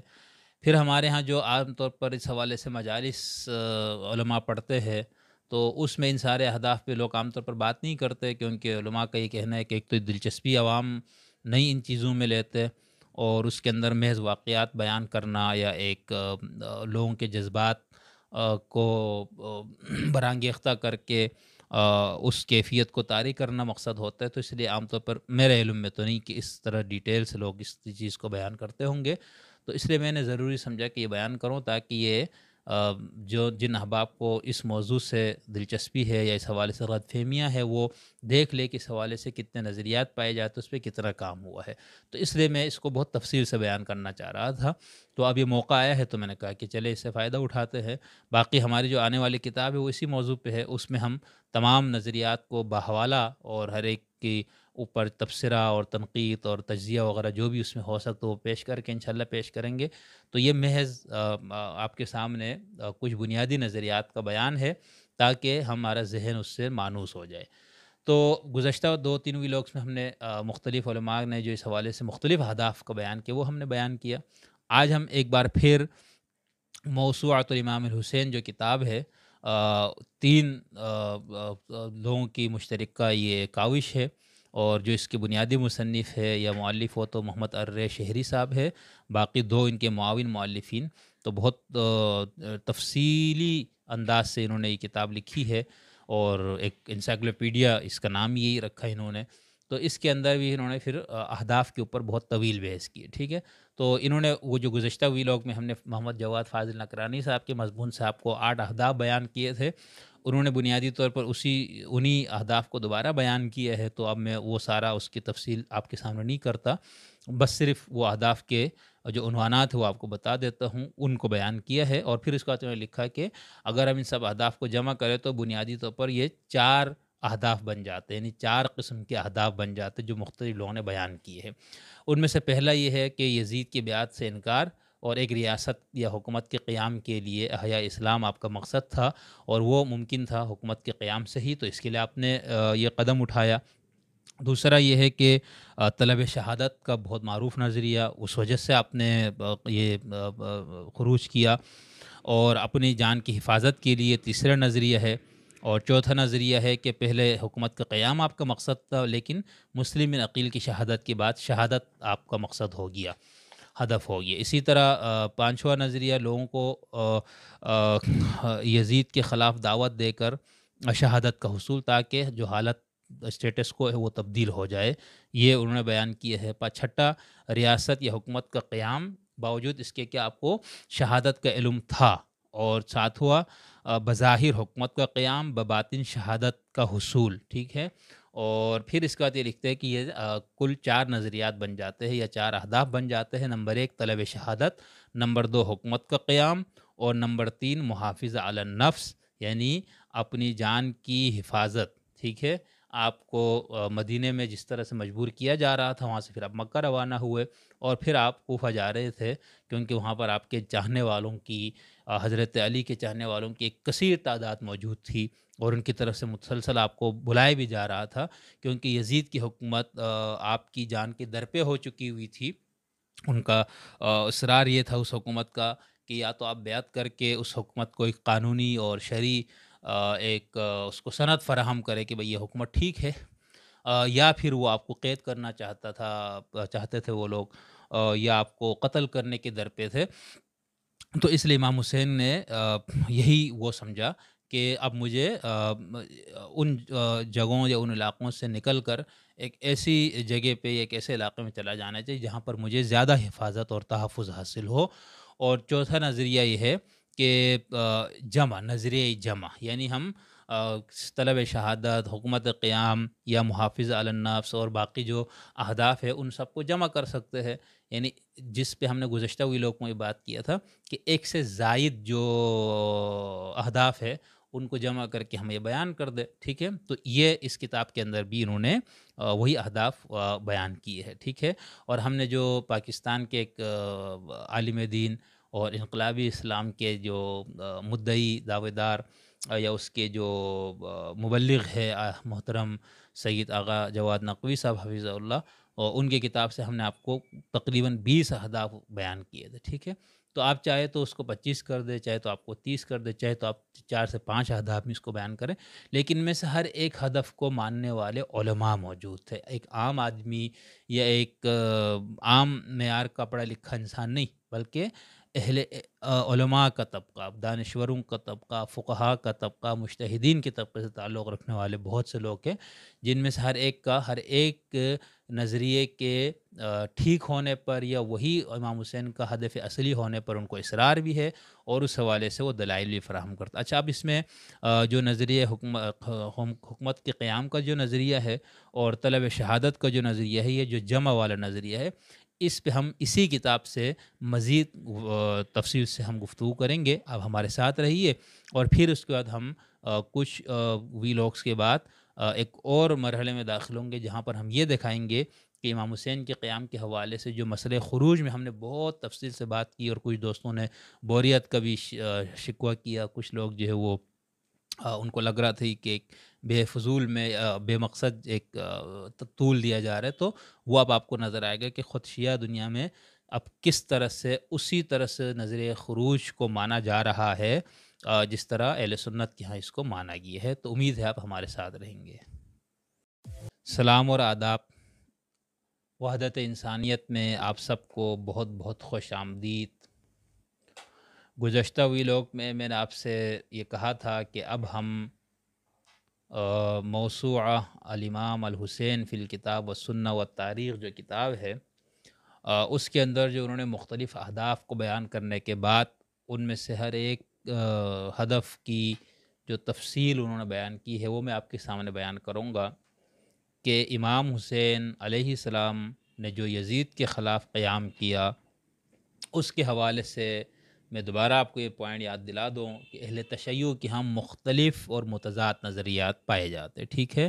اور اس کی بہت ہی سمجھ میں آنے آنے والی وجوہات موجود ہے کہ کیوں یہ ہوا، ٹھیک ہے؟ یہ کوئی تانے والی بات نہیں ہے یا یہ کوئی کسی کو نیچا دکھانا اور کسی کو فلاں کا ایجنٹ کہنا، یہ بھی کہا جاتا ہے، آپ کو معلوم ہونا چاہیے، ٹھیک ہے؟ بدنیتی کا کسی پہ الزام لگانا تو ایسی بات نہیں ہے، ٹھیک ہے؟ یہ سب کی بنیادی وجوہات موجود ہے تو اس لیے مختلف علماء نے مختلف نظریات پیش کیے۔ تو جس عالم کا، جس فقیح کا، جس مشتحد کا، جس دانشور کا، جس مقصد یا جس ہدف پہ اس کو ایک لحاظ سے ایک اطمینان قلب حاصل ہوا، اس نے اس کو بیان کر دیا۔ اب یہ آپ کے اوپر ہے کہ آپ ان میں سے کس کو زیادہ بہتر سمجھتے ہیں۔ تو اس کتاب کے اندر انہوں نے پھر ہر ایک جو اہداف بیان کیے، انہوں نے کہا تھا کہ سات اہداف انہوں نے بیان کیے۔ انہوں نے کہا کہ اگر ہم ان سات کو دیکھیں تو یہ چار میں منحصر ہو جاتے ہیں یعنی بنیادی چار اہداف بن جاتے ہیں جو مختلف لوگوں نے بیان کیے ہیں۔ اور پھر ان میں سے میں نے یہ کہا کہ سب سے پہلا جو نظریہ ہے وہ ہے طلب شہادت کا نظریہ۔ ٹھیک ہے، میں نے کہا تھا کہ اس حوالے سے چونکہ احادیث موجود ہے یہاں تک کہ صرف شیعہ کتب میں نہیں، بلکہ علیہ سنت کتب میں بھی اس حوالے سے روایات موجود ہے جس کے اندر امام حسین کی شہادت، مقام شہادت وغیرہ کی خبر دی گئی ہے، ٹھیک ہے؟ اور روایات میں کچھ میں بہت تفصیل ہے، کچھ میں اختصار ہے۔ اور اس کی وجہ سے طبعی چونکہ تو متعین تھا نا، خدا کی طرف سے لکھا ہوا تھا، یہ ایک امام حسین اس کو کا زندگی کا مقصد ہی یہی تھا کہ انہوں نے اس مقام پہ جا کے، اس تاریخ کو، اس مہینے میں جا کے اپنی جان دینی ہے۔ تو اس کو نظریہ شہادت کہا جاتا ہے۔ تو جب آپ ان روایات کی بنیاد پر یہ نظریہ اپنا لے تو پھر باقی جو مقاصد ہے یا باقی کسی اور چیز کو بطور ہدف بیان کرنا یہ بات پھر میل نہیں کھاتی اس سے، ٹھیک ہے؟ اس وجہ سے نظریات۔ تو سب سے پہلا جو نظریہ ہے، جو معروف بھی ہے، جو بڑے بڑے علماء فقہ مشتحدین اس کے قائل ہے وہ ہے نظریہ شہادت۔ اچھا اب اس کتاب والے کا موسوعات الامام والے کا یہ خیال ہے کہ جو نظریہ شہادت جو ہے یا جو لوگ یہ مانتے ہیں کہ امام حسین کے قیام یا خروج کا یزید کے خلاف نکلنے کا مقصد حصول شہادت ہی تھا یعنی مین ہدف، بنیادی ہدف یہی تھا۔ تو ان کا یہ خیال ہے کہ پھر اس شہادت کی کچھ مختلف تعبیریں کی گئی ہیں۔ یہاں پہ انہوں نے چار تعبیرات کا ذکر کیا ہے، میں مختصراً آپ کو بیان کر دیتا ہوں۔ پہلی تعبیر شہادت تکلیفی کا نظریہ ہے، ٹھیک ہے؟ اس کا کیا مطلب ہے؟ یہ لکھتے ہیں کہ بعض روایات کی بنیاد پر یہ نظریہ قائم ہے۔ اور اس کا مفہوم یہ ہے کہ ایک تکلیف خاص اور غیبی معاملہ ہے، ٹھیک ہے؟ ہمارے لیے اس میں کوئی دلیل نہیں ہے۔ یعنی یہ ایک امام حسین کے ساتھ مخصوص تھا، آپ ہی کو اس کا مکلب بنایا گیا تھا، گزشتہ ایک وی لاگ میں ہم نے اس پہ مزید تفصیل سے بات کی تھی۔ تھوڑا سا آپ کو بتانے کی کوشش کی تھی۔ تو یہاں یہ کہہ رہے کہ نظریہ شہادت کی پہلی تعبیر تو یہ ہے کہ یہ شہادت تکلیفی ہے۔ یعنی یہ ہونا ہی تھا یا آپ کو کرنا ہی تھا یا آپ کا، کی زندگی کا مشن اور مقصد تھا۔ یہ طے شدہ تھا خدا کی طرف سے، ٹھیک ہے؟ ایک غیبی معاملہ ہے، یہ ایک الوحی معاملہ ہے۔ اس میں پھر میرے لیے، آپ کے لیے، یہاں تک کہ کسی اور معصوم امام کے لیے اس میں کوئی حجت نہیں ہے۔ نمبر ایک۔ اس کے اندر بڑے بڑے نام ہیں، بلکہ یہ مصنفین کہتے ہیں تو ہمیں تو حیرت ہے کہ اس میں علامہ مجلسی جیسا بھی ہے، ٹھیک ہے، ہم اس پہ آگے بات کریں گے۔ خیر، صاحب جواہر کا ہی میں نے آپ کو بتایا، ان کا بھی یہی نظریہ ہے۔ تو یہ ہے، اس کا نام انہوں نے دیا ہے، تکلیف شہادت تکلیفی کا نظریہ، ٹھیک ہے؟ یعنی خدا کی طرف سے تکلیف اردو میں جو ہم لفظ تکلیف استعمال کرتے تو اس مفہوم میں نہیں، یہ مکلف ہونے کے مفہوم میں، ذمہ دار ہونے کے مفہوم میں، کسی کی ایک ڈیوٹی یا ذمہ داری ہونے کے مفہوم میں۔ خیر نمبر دو، یہ کہتے ہیں شہید الفدا کا تصور۔ شہید الفدا کا تصور اس پہ ہم نے فاضل جواد دکرانی صاحب کا جب بیان کردہ اہداف ہم نے بیان کیے تھے، تو اس میں ہم نے یہ تفصیل سے تھوڑی سی بیان کرنے کی کوشش کی تھی۔ ان کتاب اس کتاب کے مصنفین کا یہ خیال ہے، مؤلفین کا، کہ یہ حضرت عیسیٰ علیہ السلاۃ والسلام کے سلیب پہ چڑھانے جیسا ہی ایک تصور ہے کہ آپ کو اس لیے پھانسی پہ چڑھایا گیا عیسائی عقیدے کے مطابق تاکہ آپ کے ماننے والوں کی بخشش ہو، ان کی مغفرت ہو۔ اسی لیے ان کے ہاں نظریہ کفارہ جو ہے وہ بنیاد ہے عیسائیت کی، ٹھیک ہے؟ جب تک آپ مسیح کی سلیب پہ چڑھنے کو یا خدا کے اپنے بیٹے کی قربانی دینے کے نظریے کو نہیں مانتے، آپ عیسائی نہیں ہو سکتے۔ اور یہ ماننے کے بعد پھر آپ دھل جاتے سب چیزوں سے۔ خیر، تو ان کا یہ خیال ہے کہ یہ جو تصور ہے شہادت کے اندر، شہادت کی دوسری تعبیر یہ ہے کہ شہادت اس لیے دی گئی تاکہ اس سے آپ کے ماننے والوں اور آپ کے چاہنے والوں کی مغفرت ہو، ٹھیک؟ نمبر تین، سیاسی شہادت کا تصور، ٹھیک ہے؟ یعنی آپ نے شہادت تو مقصد تھا یہی ہونا ہی تھا، یہ طے تھا روایات کی وجہ سے، خدا کی طرف سے سب۔ لیکن اس کا مقصد آپ کی اس شہادت کا مقصد ایک سیاسی شہادت ہے، اس کا انہوں نے عنوان یہ دیا، ٹھیک ہے؟ اور یہ کہتے ہیں کہ آج کل اسی نظریے کا بہت شہرہ ہے اور یہ سیاسی اسلام کی وجہ سے یعنی جو ہم نے پہلے ہی بات کی تھی کہ سیاسی اسلام جس کو ہم کہتے ہیں، اس کی وجہ سے امام حسین کی شہادت کو سیاسی رنگ میں پیش کرنا، سیاسی ہمارے ہاں اس کو منفی لفظوں میں لیا جاتا ہے، ایسا نہیں یعنی اس سے آپ کا ایک سیاسی مقصد کا حصول تھا جس کے لیے آپ نے یہ قربانی دی، ٹھیک ہے؟ تو یہ کہتے ہیں کہ یہ اس نظریے کے ماننے والے بھی کافی لوگ ہیں، ٹھیک ہے؟ مثال کی تو انہوں نے ایک دو مثالیں دی ہے علامہ شریعتی، ٹھیک ہے؟ ڈاکٹر شریعتی جو بہت معروف ہے ہمارے ہاں وہ اس نظریے کے قائل ہے سید ہبت الدین ہبت الدین شہرستانی صاحب اس نظریے کے قائل ہے ٹھیک ہے؟ اور ہمارے یہاں پر آپ آغا شرف الدین صاحب وہ بھی ہمارے بیچارے ایک متون مسلی ہے تشیع کے علماء میں سے۔ ان کی کتاب بھی ہے، شہادت حسین کی یعنی قیام امام حسین کی سیاسی تفسیر، کتاب ہی ہے، ٹھیک ہے۔ تو ان سب کو یہ مقصد، کہنا یہ ہے کہ یہ سیاسی شہادت تھی۔ آپ نے شہادت دی، آپ کا مقصد شہید ہونا تھا، لیکن اس کے اندر ایک اور مقصد کا حصول مضمر تھا جو کہ یہ تھا، ٹھیک ہے؟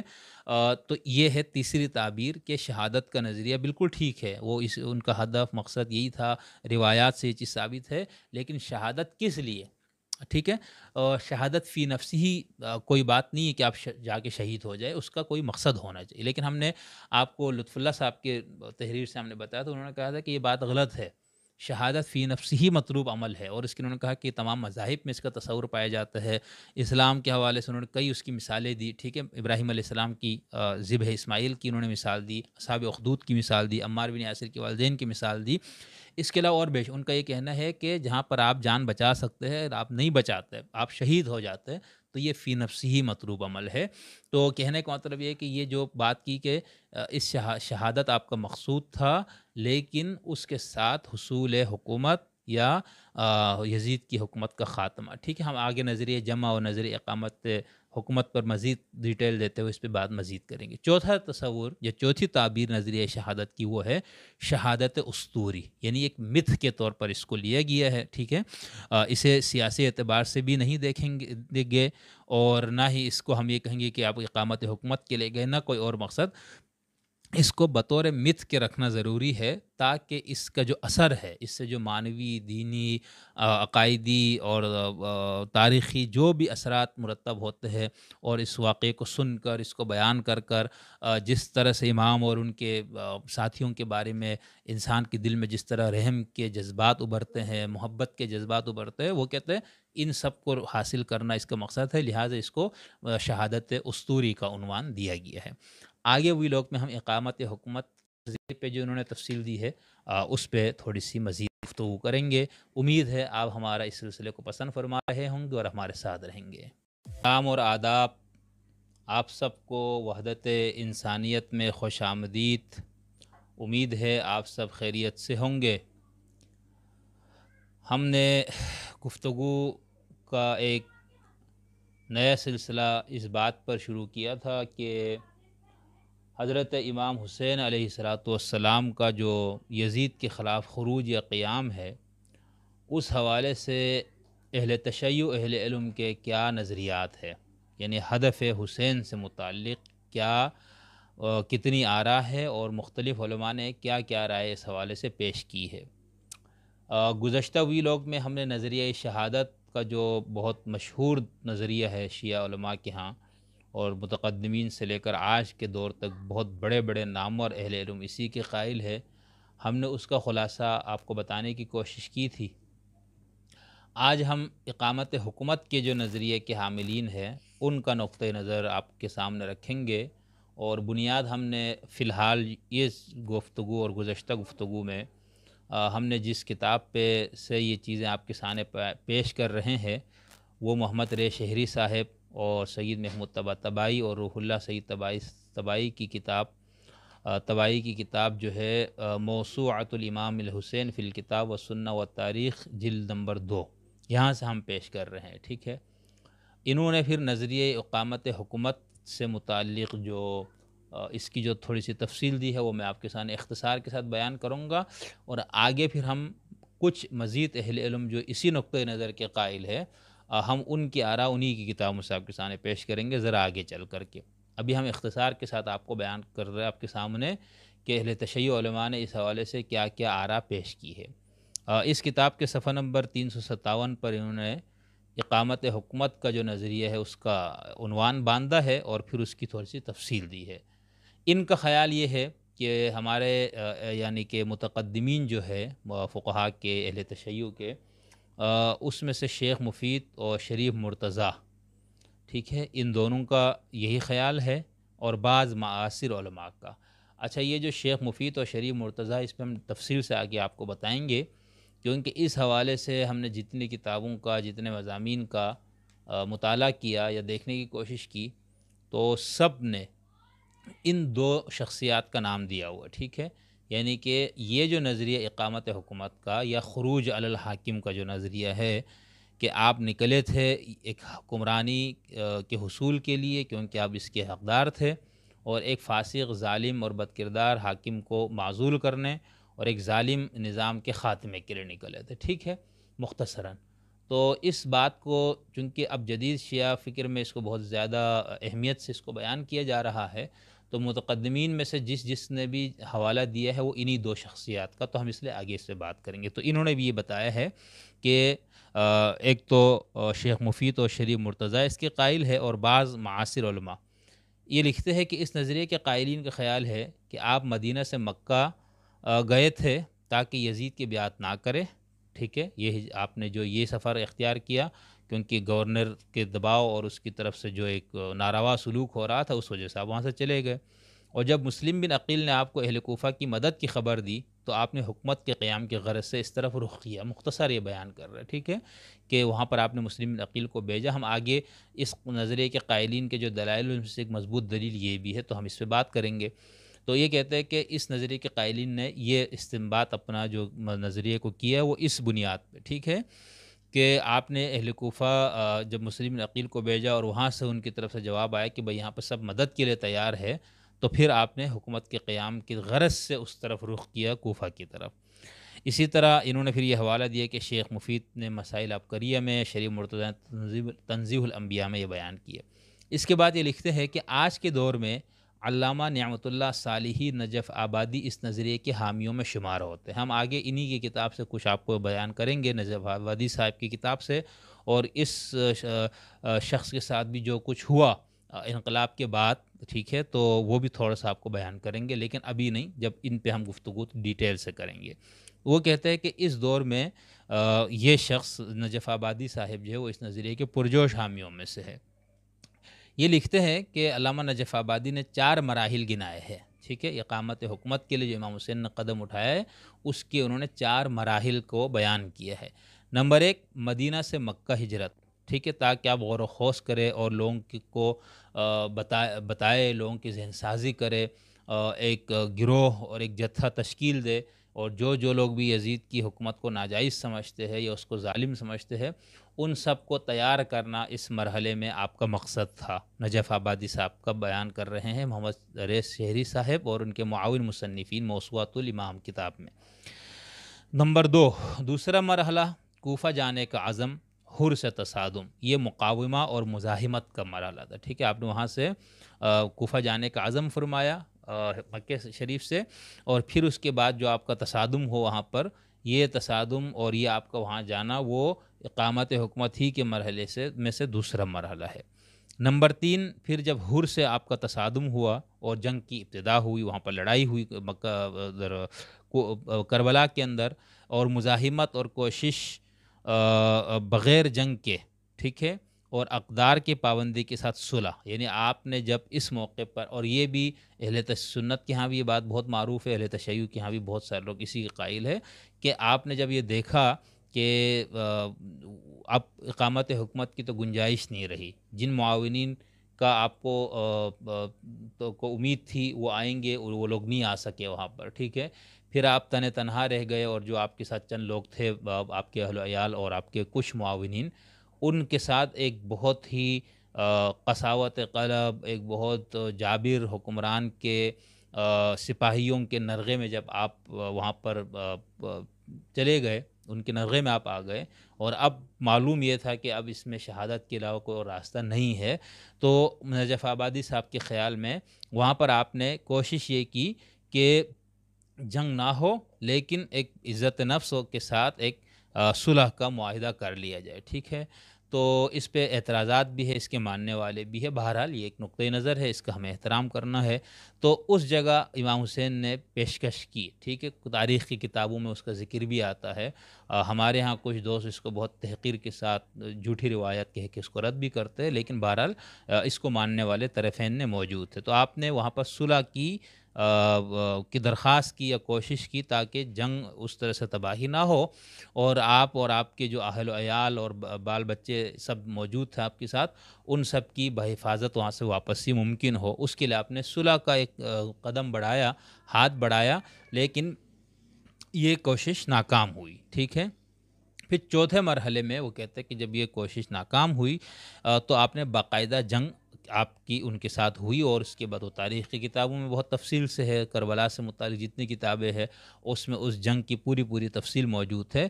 تو نجف آبادی صاحب کا یہ خیال ہے کہ یہ بھی بھرپور مزاحمت اور دفاع کے طور پر آپ نے وہاں پر لڑائی لڑی۔ یعنی اصل جو مقصد تھا، وہ اقامت حکومت ہی تھا۔ اس کے لیے ان چار مراحل کو امام نے طے کیا اور آخر میں پھر جنگ ہوئی۔ اور اس کے اندر نجف آبادی صاحب نے جو بات کی وہ امام کے نظر علم سے متعلق جو شیعوں کا عقیدہ ہے، اس پہ بھی اس سے زد پڑتی ہے اور بہت ساری اور روایات نظر شہادت سے متعلق بھی ان سب سے بھی، اس لیے اس کتاب کی بہت مخالفت ہوئی۔ یہاں پر ہم نجف آبادی صاحب کی اپنی کتاب سے نہیں، بلکہ ہم موسوط امام حسین والے نے جو ان کو نقطۂ نظر بیان کیا، ہم وہ پیش کر رہے ہیں۔ تو یہ کہتے ہیں کہ محض حکومت کا قیام اور ظالم حکومت کا خاتمہ آپ کا مقصد تھا۔ ٹھیک ہے، تو یہ اقامت حکومت والا جو خالص حکومت کے قیام کا جو نظریہ ہے، اس کا خلاصہ یہاں سے میں نے بیان کیا۔ ایک اور نظریہ انہوں نے بتایا تھا کہ وہ ہے محافظ النفس، ٹھیک ہے؟ نفس کی حفاظت کا نظریہ بھی کچھ لوگوں نے پیش کیا۔ ان لوگوں کے مطابق امام حسین کا مدینہ سے مکہ اور مکہ سے عراق جانے کا ایک ہی مقصد تھا کہ جان کی حفاظت کی جا سکے۔ اور یہ نہ خروج ہے، نہ انقلابی عمل ہے اور نہ ہی دشمنوں سے جنگ کرنا اور نہ ہی حکومت کے قیام کی کوشش۔ تو یہ بالکل اس کا الٹ نظریہ ہوگا، ٹھیک ہے؟ نظریہ شہادت میں نے آپ کو بیان کیا تفصیل سے نظر اقامت حکومت۔ اور اب ہم مزید جو اس حوالے سے دو نظریات ہیں، وہ جو موسوعہ الامام حسین میں بیان ہے، وہ اسی سے ہم آپ کے سامنے بات کر کے پھر ہم اقامت حکومت والوں کی نظریات پہ ڈیٹیل سے بات کریں گے۔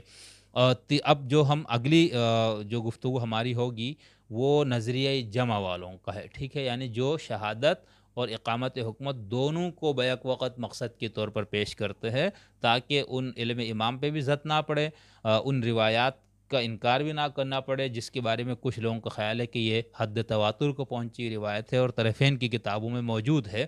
تو اس لیے ہم اگلی ہوئی لوگ میں نظریہ جمع پہ بات کریں گے۔ اور اگر ہمارا ٹائم اسی میں بچا ہمارے پاس، تو ہم ایک جو چوتھا نظریہ ہے ظاہری اور باطنی پہلو کا، اس پہ تھوڑی سی گفتگو کر کے پھر اقامت حکومت والوں کے نظریے کی طرف ہم پیش قدمی کریں گے۔ امید ہے آپ کو ہمارا یہ سلسلہ پسند آ رہا ہوگا۔ ہمیں آپ کی تنقیدی آراء کا شدت سے انتظار بھی ہے اور اس کا ہمیں بہت زیادہ ہم احترام بھی کریں گے۔ لیکن اختلاف رائے جو ہے وہ شائستگی اور احترام کے ساتھ ہونا چاہیے۔ بہت شکریہ جی۔ السلام علیکم۔ یونٹی آف ہیومینٹی میں آپ سب کو خوش آمدید۔ گزشتہ ہوئی لوگ میں ہم نے موسوعۃ الامام الحسین کتاب سے اقامت حکومت کو امام حسین کا ہدف بیان کرنے والوں کا کی جو رائے ہے اس کا خلاصہ بیان کیا تھا۔ آج ہم نظریہ جمع پہ تھوڑی سی گفتگو کریں گے۔ نظریہ جمع سے مراد یہ ہے کہ چونکہ بہت سی روایات موجود ہے جس کے اندر آپ کی شہادت یہاں تک کہ کچھ روایات میں مقام شہادت اور وقت اور تاریخ تک کا تعین کر کے دیا گیا ہے اور کچھ میں ایک جنرل بات کی گئی ہے اور بہت سی روایات اہل سنت کی کتابوں میں بھی ہے اور شیعوں کی کتابوں میں تو کثیر تعداد میں ایسی روایت موجود ہے۔ تو ایک تو وہ نظریہ ہدف جن لوگوں نے بیان کیا ان روایات کی بنیاد پہ۔ دوسری طرف خود امام حسین کے اس پورے مرحلے میں جب آپ نے اقامت قیام فرمایا اس یزید کے خلاف، تو اس پورے مرحلے میں آپ نے مختلف لوگوں سے جو گفتگویں فرمائی، مختلف لوگوں کے خطوط کے جو جوابات دیے، مختلف جگہوں پر جو آپ نے خطابات فرمائے، تو ایک طرف وہ سب کچھ ہے جس سے کچھ اور نظر آتا ہے، ٹھیک ہے؟ تو اس لیے دونوں میں تضاد نظر آتا ہے، تو اس تضاد کو رفع کرنے کے لیے اب تیسرا جو راستہ اختیار کیا گیا وہ یہ تھا کہ ان دونوں نظریوں کو جمع کیا جائے۔ یعنی طلب شہادت اور اقامت حکومت دونوں کے نظریات کو بیک وقت صحیح تسلیم کیا جائے۔ اور اس کی وجہ میں نے آپ کو بتا دی کہ ایک طرف روایات ہے آپ کی شہادت کے حوالے سے اور دوسری طرف جو ہے وہ آپ کی خود بات ہے۔ پھر اس کے ساتھ ساتھ یہ بھی آتا ہے کہ امام حسین علیہ السلام کو اپنی شہادت کا علم بھی تھا اور آپ اپنے اس عمل کے نتائج سے اچھی طرح آگاہ بھی تھے۔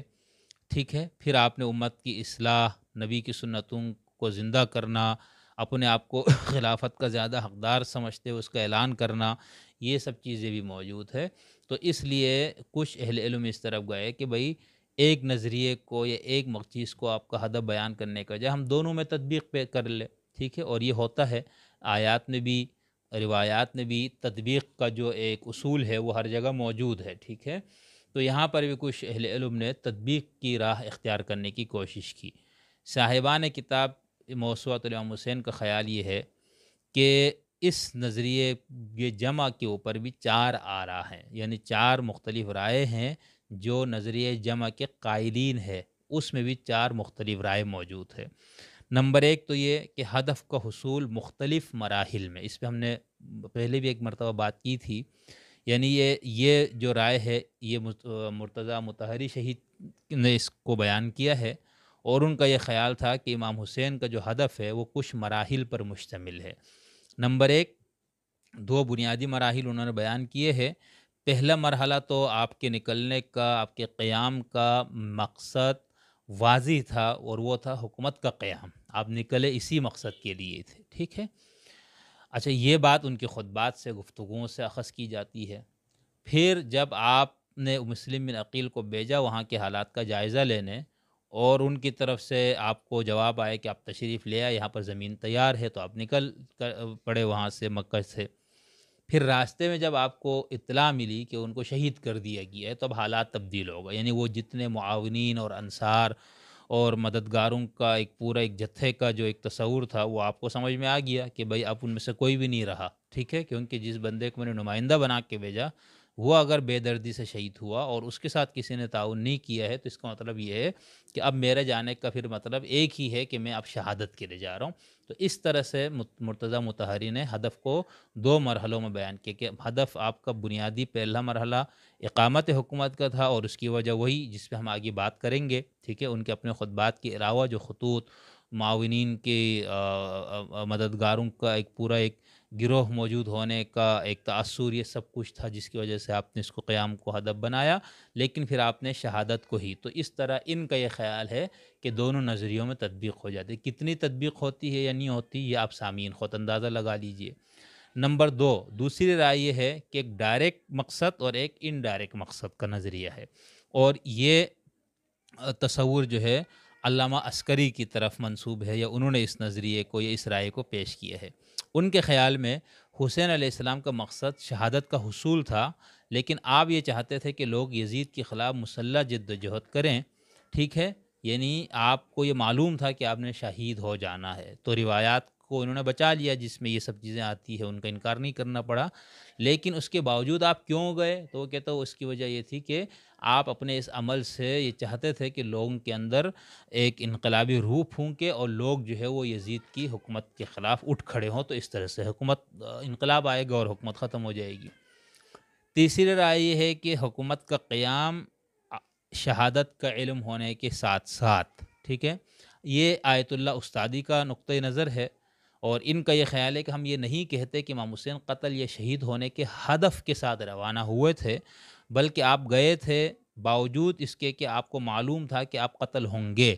لیکن ظاہری طور پر آپ حکومت کے قیام کے لیے گئے تھے اہل کوفہ کی دعوت پر۔ یعنی ان کی دعوت پر بظاہر جو نظر آ رہا تھا اور جو لوگوں کو بھی پتہ تھا وہ یہی تھا کہ بھائی تو کوفیوں کی دعوت ہے۔ انہوں نے بلایا ہوا ہے آپ کو اتنے خطوط لکھ کے، لہٰذا آپ ظاہری طور پر حکومت کے قیام کے لیے تشریف لے گئے تھے۔ آپ اس بات کے مکلف تھے، یہ اس استاد استاد آیت اللہ استادی کا خیال ہے کہ آپ اس بات کے مکلف تھے کہ اہل کوفہ کی دعوت قبول کرتے، ٹھیک ہے، حکومت کے قیام کے لیے جو ان کی دعوت تھی اس کو قبول کرتے۔ اور امام جانتے تھے کہ یہ ہدف حاصل نہیں ہو سکے گا۔ کوفیوں کی دعوت کو قبول کرنا اور حکومت کا خیال اس بات کی نفی نہیں کرتے کہ آپ کو شہادت کا علم نہیں تھا، ٹھیک ہے؟ کیونکہ کچھ لوگ اس بات سے کو لیتے ہیں، جیسے خاص طور پر نجف آبادی صاحب وغیرہ، کہ چونکہ آپ کو اس طرح سے علم نہیں تھا کہ اسی دن اسی جگہ اور اسی مرحلے میں ہی میری شہادت ہونی اور میں جا ہی شہادت کے رہا ہوں، آپ کو اس بات کا علم نہیں تھا، آپ تو ظاہری جو کچھ نظر آیا آپ کو، اس کو دیکھ کے آپ نے قدم اٹھایا تھا، تو یہ کہتے ہیں کہ یہ جو کوفیوں کی دعوت کا قبول کرنا اس سے اگر آپ یہ دلیل لیتے کہ امام کو شہادت کے علم نہیں تھا، ٹھیک ہے، اور اس دعوت کی بنیاد پہ آپ حکومت کے قیام کے لیے نکلے ہیں، تو یہ اس بات کو ثابت کرنے کے لیے کافی ہے کہ آپ کو اپنی شہادت کا علم نہیں تھا۔ تو استاد جی، بھی صاحب کا یہ خیال ہے کہ یہ تصور درست نہیں ہے، ٹھیک ہے؟ آپ کو شہادت کے ہم یہ عقیدہ رکھتے ہیں کہ آپ کو اپنے اس کام کا انجام معلوم تھا۔ تو یہ ہے تیسری رائے۔ چوتھی رائے یہ ہے ظاہری اور باطنی پہلو یعنی جن لوگوں نے نظریہ شہادت اور نظریہ اقامت حکومت میں جمع کرنے کی کوشش کی تدبیق کی کوشش کی، اس میں چوتھی رائے اصحاب مؤلفین موسو امام حسین والوں کے نزدیک وہ ہے ظاہری اور باطنی پہلو کا نظریہ۔ یعنی امام حضرت امام حسین علیہ السلام کا شہادت کے علم ہونے اور اقامت نظام اسلام کے درمیان تدبیق کے لیے کچھ لوگوں نے ظاہر اور باطن کی تعبیر پیش کی ہے۔ پاسداران وہی کے مؤلفین لکھتے ہیں کہ امام حسین نے اہل کوفہ کے قیام قیام حکومت کی دعوت کو قبول کی۔ یعنی آپ کو دعوت ہی اس لیے دی تھی کہ ہم اس حکومت کو، ظالم کو ختم کر کے ایک عادل حکومت لانا چاہتے ہیں اور اس کے لیے آپ ہی اس کا ایک مستحق ہے۔ یہ ظاہری پہلو تھا۔ یہ ظاہری طور پر تھا نہ کہ فی الواقع۔ ٹھیک ہے؟ اور آپ نے بظاہر حکومت کے قیام کے لیے کوشش کی، لیکن حقیقت میں آپ کا یہ ارادہ نہیں تھا۔ کیونکہ آپ کو معلوم تھا کہ آپ کوفہ پہنچنے سے پہلے ہی کربلا میں شہید کر دیے جائیں گے۔ اسی لیے آپ نے کربلا میں شہید ہونے کی آپ علیہ السلام کربلا میں شہید ہونے کے لیے چل پڑے۔ اسی بنیاد پر آپ کا ظاہری عمل آپ کے باطن کے خلاف تھا۔ یعنی اس بنیاد پہ جو آپ کا ظاہری عمل ہے وہ آپ کے باطن کے خلاف تھا۔ ظاہر تو آپ نے یہ کیا کہ آپ حکومت کے قیام کے لیے جا رہے ہیں، لیکن اصل میں آپ کا ہدف کربلا میں شہید ہونا تھا۔ تو یہ ہے نظریہ اقامت حکومت اور نظریہ شہادت کے درمیان تدبیق کی کوشش کرنے والوں کی چار آرا۔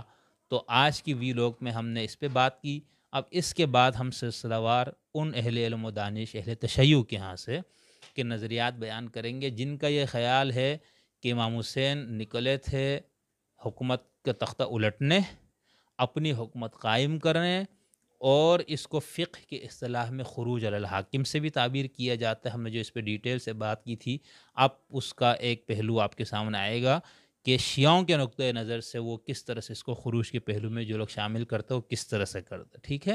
یعنی ظالم، فاسق یا کفر بوا، کا مرتکب کوئی حکمران ہو، مسلمان حاکم ہو ٹھیک ہے، نام اس کا ہو لیکن کام اس کے نہ ہو مسلمانوں والے، تو اس کو کیسے معذول کرنا ہے؟ تو اب ہم اس پہ جائیں گے کہ جو لوگ یہ سمجھتے ہیں کہ ہم حسین قیام حکومت کے لیے گئے تھے، تو اس کو آپ خروج الحاکم بھی کہہ سکتے ہیں نظر اقامت حکومت بھی کہہ سکتے ظاہر سے بات ایک حکومت قائم ہے نا۔ آپ اس حکومت کو ہٹانا چاہ رہے ہیں، اس کو معذول کرنا چاہ رہے ہیں، اس کو وہ ویسے تو اس نے شرافت سے نہیں معذول ہونا تھا، اس کے لیے آپ کو لڑائی بھی لڑنی پڑنی تھی، مزاحمت کا راستہ اختیار کرنا تھا، یہ سب کچھ تھا۔ تو اب ہم ڈیٹیل سے ان اصحاب دانش کا نظریہ آپ کے سامنے بیان کرنے کی کوشش کریں گے، جو اقامت حکومت کے قائل ہے۔ امید ہے آپ آگے، آخر تک ہمارے ساتھ رہیں گے اور میں یہ بھی امید کرتا ہوں کہ میں آپ کے سامنے کچھ نئے افق لانے میں کامیاب ہو رہا ہوں۔ بہت شکریہ۔ آج کی وی لاگ میں ہم اور اس کے بعد چند وی لاگس میں اہل تشیع کے ان علماء کا موقف و نظریہ آپ کے سامنے پیش کرنے کی کوشش کریں گے، جن کا یہ خیال ہے کہ امام حسین علیہ السلام کے قیام کا مقصد حکومت کا قیام تھا، ظالم حکومت کا خاتمہ تھا۔ اور یہ ایک لحاظ سے کسی ظالم حکمران کو معذول کرنے کے لیے جو جدوجہد کی جاتی ہے اور جس کو مسئلہ خروج میں بیان کیا جاتا ہے، یہ وہی چیز ہے۔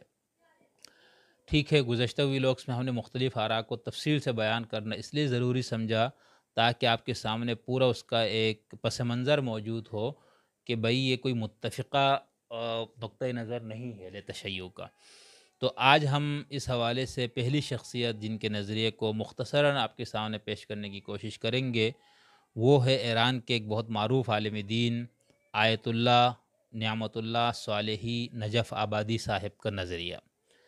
انہوں نے ایک کتاب لکھی جو کہ انیس سو اکاون میں ایران میں شائع ہوئی تھی اور فارسی زبان میں یہ کتاب تھی اور کتاب کا نام تھا شہید جاوید۔ اور اس کا اب عربی ترجمہ اب جا کے اس کا ہوا ہے الشہید الخالد کے نام سے۔ آیت اللہ نجف آبادی صاحب کی جو ولادت ہے وہ انیس سو پچیس میں آپ پیدا ہوئے اور دو ہزار چھ میں آپ وفات پا گئے۔ ٹھیک ہے، اصفہان کا ایک علاقہ ہے نجف آباد، وہاں پر آپ پیدا ہوئے۔ آپ کے اساتذہ میں بڑے بڑے نامور اساتذہ شامل ہے آپ نے آیت اللہ خمینی کے دروس میں بھی شرکت کی۔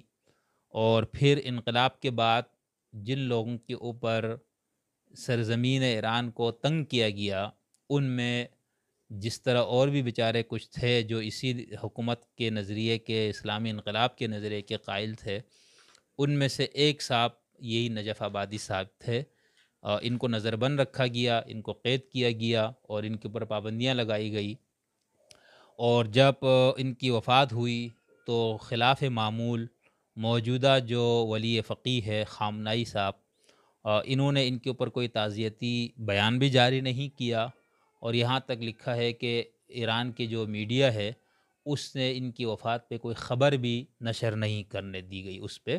تو یعنی ایک لحاظ سے ایک بہت بڑے عالم مشتحد فقی تھے وہ، ٹھیک ہے، اور صاحب علم تھے اور ان کے جو بنیادی نظریات تھے وہ تو مکمل طور پر جدید شیعہ فکر کے کو تقویت دینے والے نظریات تھے۔ لیکن ظاہر سی بات ہے، جب آپ ایک مخالفتوں کا کی پرواہ نہ کرتے ہوئے آزادانہ رائے رکھنے کے جب عادی ہو جاتے ہیں، تو پھر آپ یہ نہیں دیکھتے کہ میرے اس بیان کردہ رائے اور نظریے سے کس حکومت اور کس شخص پہ زد پڑتی ہے۔ تو انہوں نے بھی یہی کیا۔ انقلاب کے بعد بھی انہوں نے اپنے نظریات اس انداز سے بیان کرے، کیے کہ لوگوں کے لیے چیز برداشت نہیں ہوئی۔ اب یہ جو کتاب ہے شہید خالد شہید جاوید جو کتاب، اس کتاب کی اشاعت کی بات یہ کہا جاتا ہے کہ ایران میں ایک بہت شور برپا ہوا یعنی شیعہ تاریخ میں مفصل کتاب اس انداز سے، اس، یہ امام حسین کے نہضہ کے حوالے سے پہلی بار لکھی گئی تھی، جس نے ایک ایسے نظریے کو متعین کرنے کی حال، کی کوشش کی جو کہ شیعہ دنیا میں اجنبی نظریہ تھا۔ اچھا یہی وہ دور ہے جب آیت اللہ خمینی کی بھی کوششیں سامنے آ رہی تھی، ٹھیک ہے، اور اس کے بعد ان کی بھی جو کتاب حکومت، اسلامی حکومت کے عنوان سے شائع بھی ہوئی ہے ابھی، اور موجود ہے وہ، اور انہوں نے ایک انقلابی نظریہ پیش کر کے اسلام کا، سیاسی اسلام کا انہوں نے ایک اس دور کے حالات جو خراب تھے، اس کو اپنے حق میں کیا۔ ٹھیک ہے، تو حالانکہ اس کی بھی بہت مخالفت ہوئی، خاص طور پر جو ان کے ولایت فقی کا جو نظریہ امام خمینی پیش کرتے اس دور کے علماء نے اس کو قبول نہیں کیا۔ لیکن جب آپ طاقت میں آ جائے تو پھر ظاہر سے تو پھر طاقت ہی کی حکومت چلتی ہے۔ تو بہرحال ہم اس ڈیٹیل میں نہیں جانا چاہتے، ہم صرف یہاں پر یہ بتا رہے ہیں کہ اس کتاب کی اشاعت سے وہاں پر ایک بہت زیادہ ایک ہنگامہ برپا ہو گیا، شور برپا ہو گیا۔ اور اس کتاب کی تقریباً اٹھارہ اشاعتیں ابھی تک فارسی زبان کی جو ہے وہ اس کی ہوئی ہے یعنی بہت زیادہ شائع بھی ہوئی ہے اور اس کے اوپر بہت زیادہ رت میں کتابیں بھی لکھی گئی اور تقریباً یہ کہا جاتا ہے کہ تیس سے زائد کتابیں ہیں جو صرف اس کتاب کی تردید میں لکھی گئی اور گزشتہ ایک وی لوگ میں ہم نے آپ کو آیت اللہ صافی صاحب کا جو خاص اس کتاب کے رت میں جو ان کی کتاب ہے، جس کا عربی ترجمہ ان حضرت الحسینی یا وہ علم الامام ہے اس کے حوالے سے ہم نے تھوڑی سی بات کی تھی تو وہ بھی اسی رت میں ہے۔ تو اس تیس سے زائد کتابیں اس کتاب کے رت میں لکھی گئی۔ پھر آیت اللہ نجف آبادی صاحب نے ان سب کتابوں کا جواب دیا، ٹھیک ہے؟ اور ان کتاب کا جو جوابی کتاب تھی، ان کی اس کا نام عصائے موسا تھا، ٹھیک ہے؟ اور یہ انیس سو اکیاسی میں شائع ہوئی۔ اچھا وہ کہتے ہیں جب یہ کتاب شائع ہوئی جس کے اندر ان کی کتاب پہ کی گئی تنقیدات کا انہوں نے جواب دیا، تو اس وقت پھر ایرانی حکومت نے بہت زیادہ غصے کا اظہار کیا۔ دکانوں سے عصائے موسیٰ نامی کتاب جو ہے وہ ہٹا دی گئی اور پھر دوبارہ اشاعت پر اس کتاب کے اوپر پابندی لگ گئی۔ تو یہ تھوڑا سا اس کا میں نے چاہا کہ آپ کے سامنے اس کا مختصر، اس کا پس منظر آپ کے سامنے رکھ دوں۔ اب یہ جو کتاب ہے شہید نجیف آبادی صاحب کی، ٹھیک ہے؟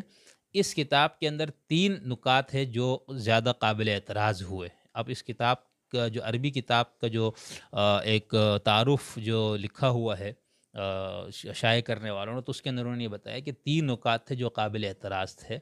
نمبر ایک، مؤلف نے یہ ثابت کرنے کی کوشش کی تھی کہ امام حسین کو غیب کا علم نہیں تھا۔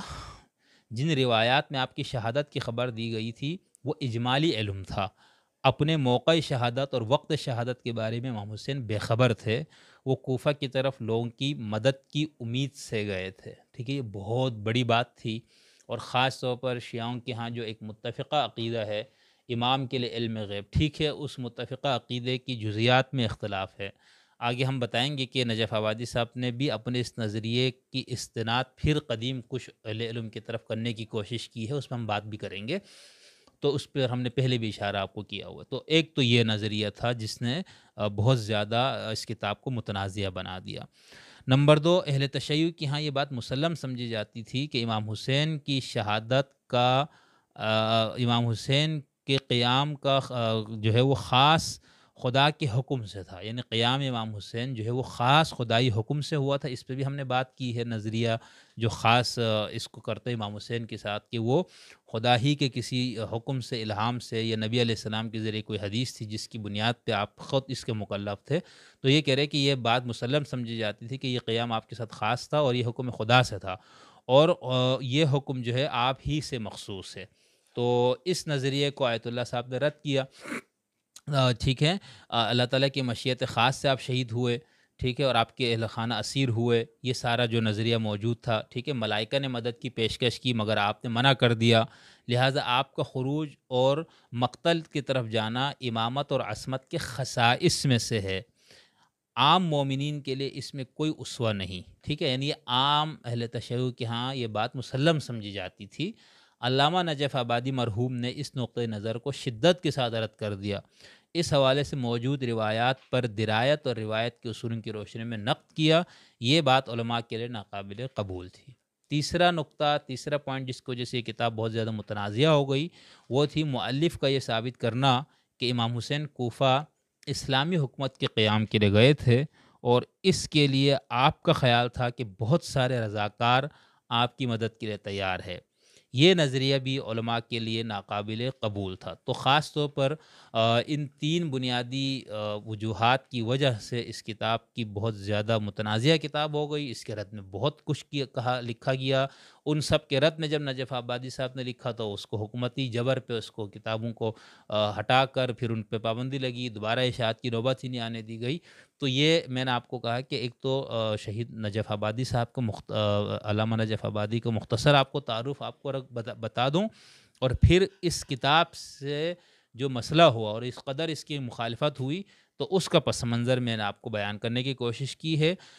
اب ہم اگلی ہوئی لوگ میں اختصار کے ساتھ آپ کو یہ بتائیں گے کہ نجف آبادی صاحب نے اپنی اس کتاب میں امام حسین کے مقصد قیام کو کس طرح سے بیان کیا ہے اور اس کے اوپر بھی لوگوں کے اعتراضات اور تنقیدات ہیں، لیکن اب نظر ایسا آتا ہے اور خاص طور پر انقلاب ایران کے بعد یا ماں بعد خمینی فکر میں اس کے اندر ہم آگے امام خمینی کی رائے بھی آپ کے سامنے پیش کریں گے، کچھ اور علماء کی بھی، جس سے آپ کو یہ نظر آئے گا کہ بھئی یہ سب اسی بات کے قائل ہے کہ بھئی یہ تو خروش تھا، ظالم کو ہٹانے کے لیے کوشش تھی، اور ظاہر سے بات ہے جب ایک شخص ظالم کو ہٹانے کے لیے نکلے ہے اور وہ معصوم امام بھی ہے، خدا کی طرف سے وہ متعین بھی ہے، بقول آپ کے عقیدے کے تو پھر وہ اور کیا کرنا تھا؟ انہوں نے اپنی حکومت ہی قائم کرنی تھی نا۔ تو خیر ہم اس پہ مزید بات کریں گے۔ پہلے ہم نجیف آبادی صاحب کا نظریہ، اگلی ہوئی لوگ میں انشاءاللہ آپ کے سامنے رکھیں گے۔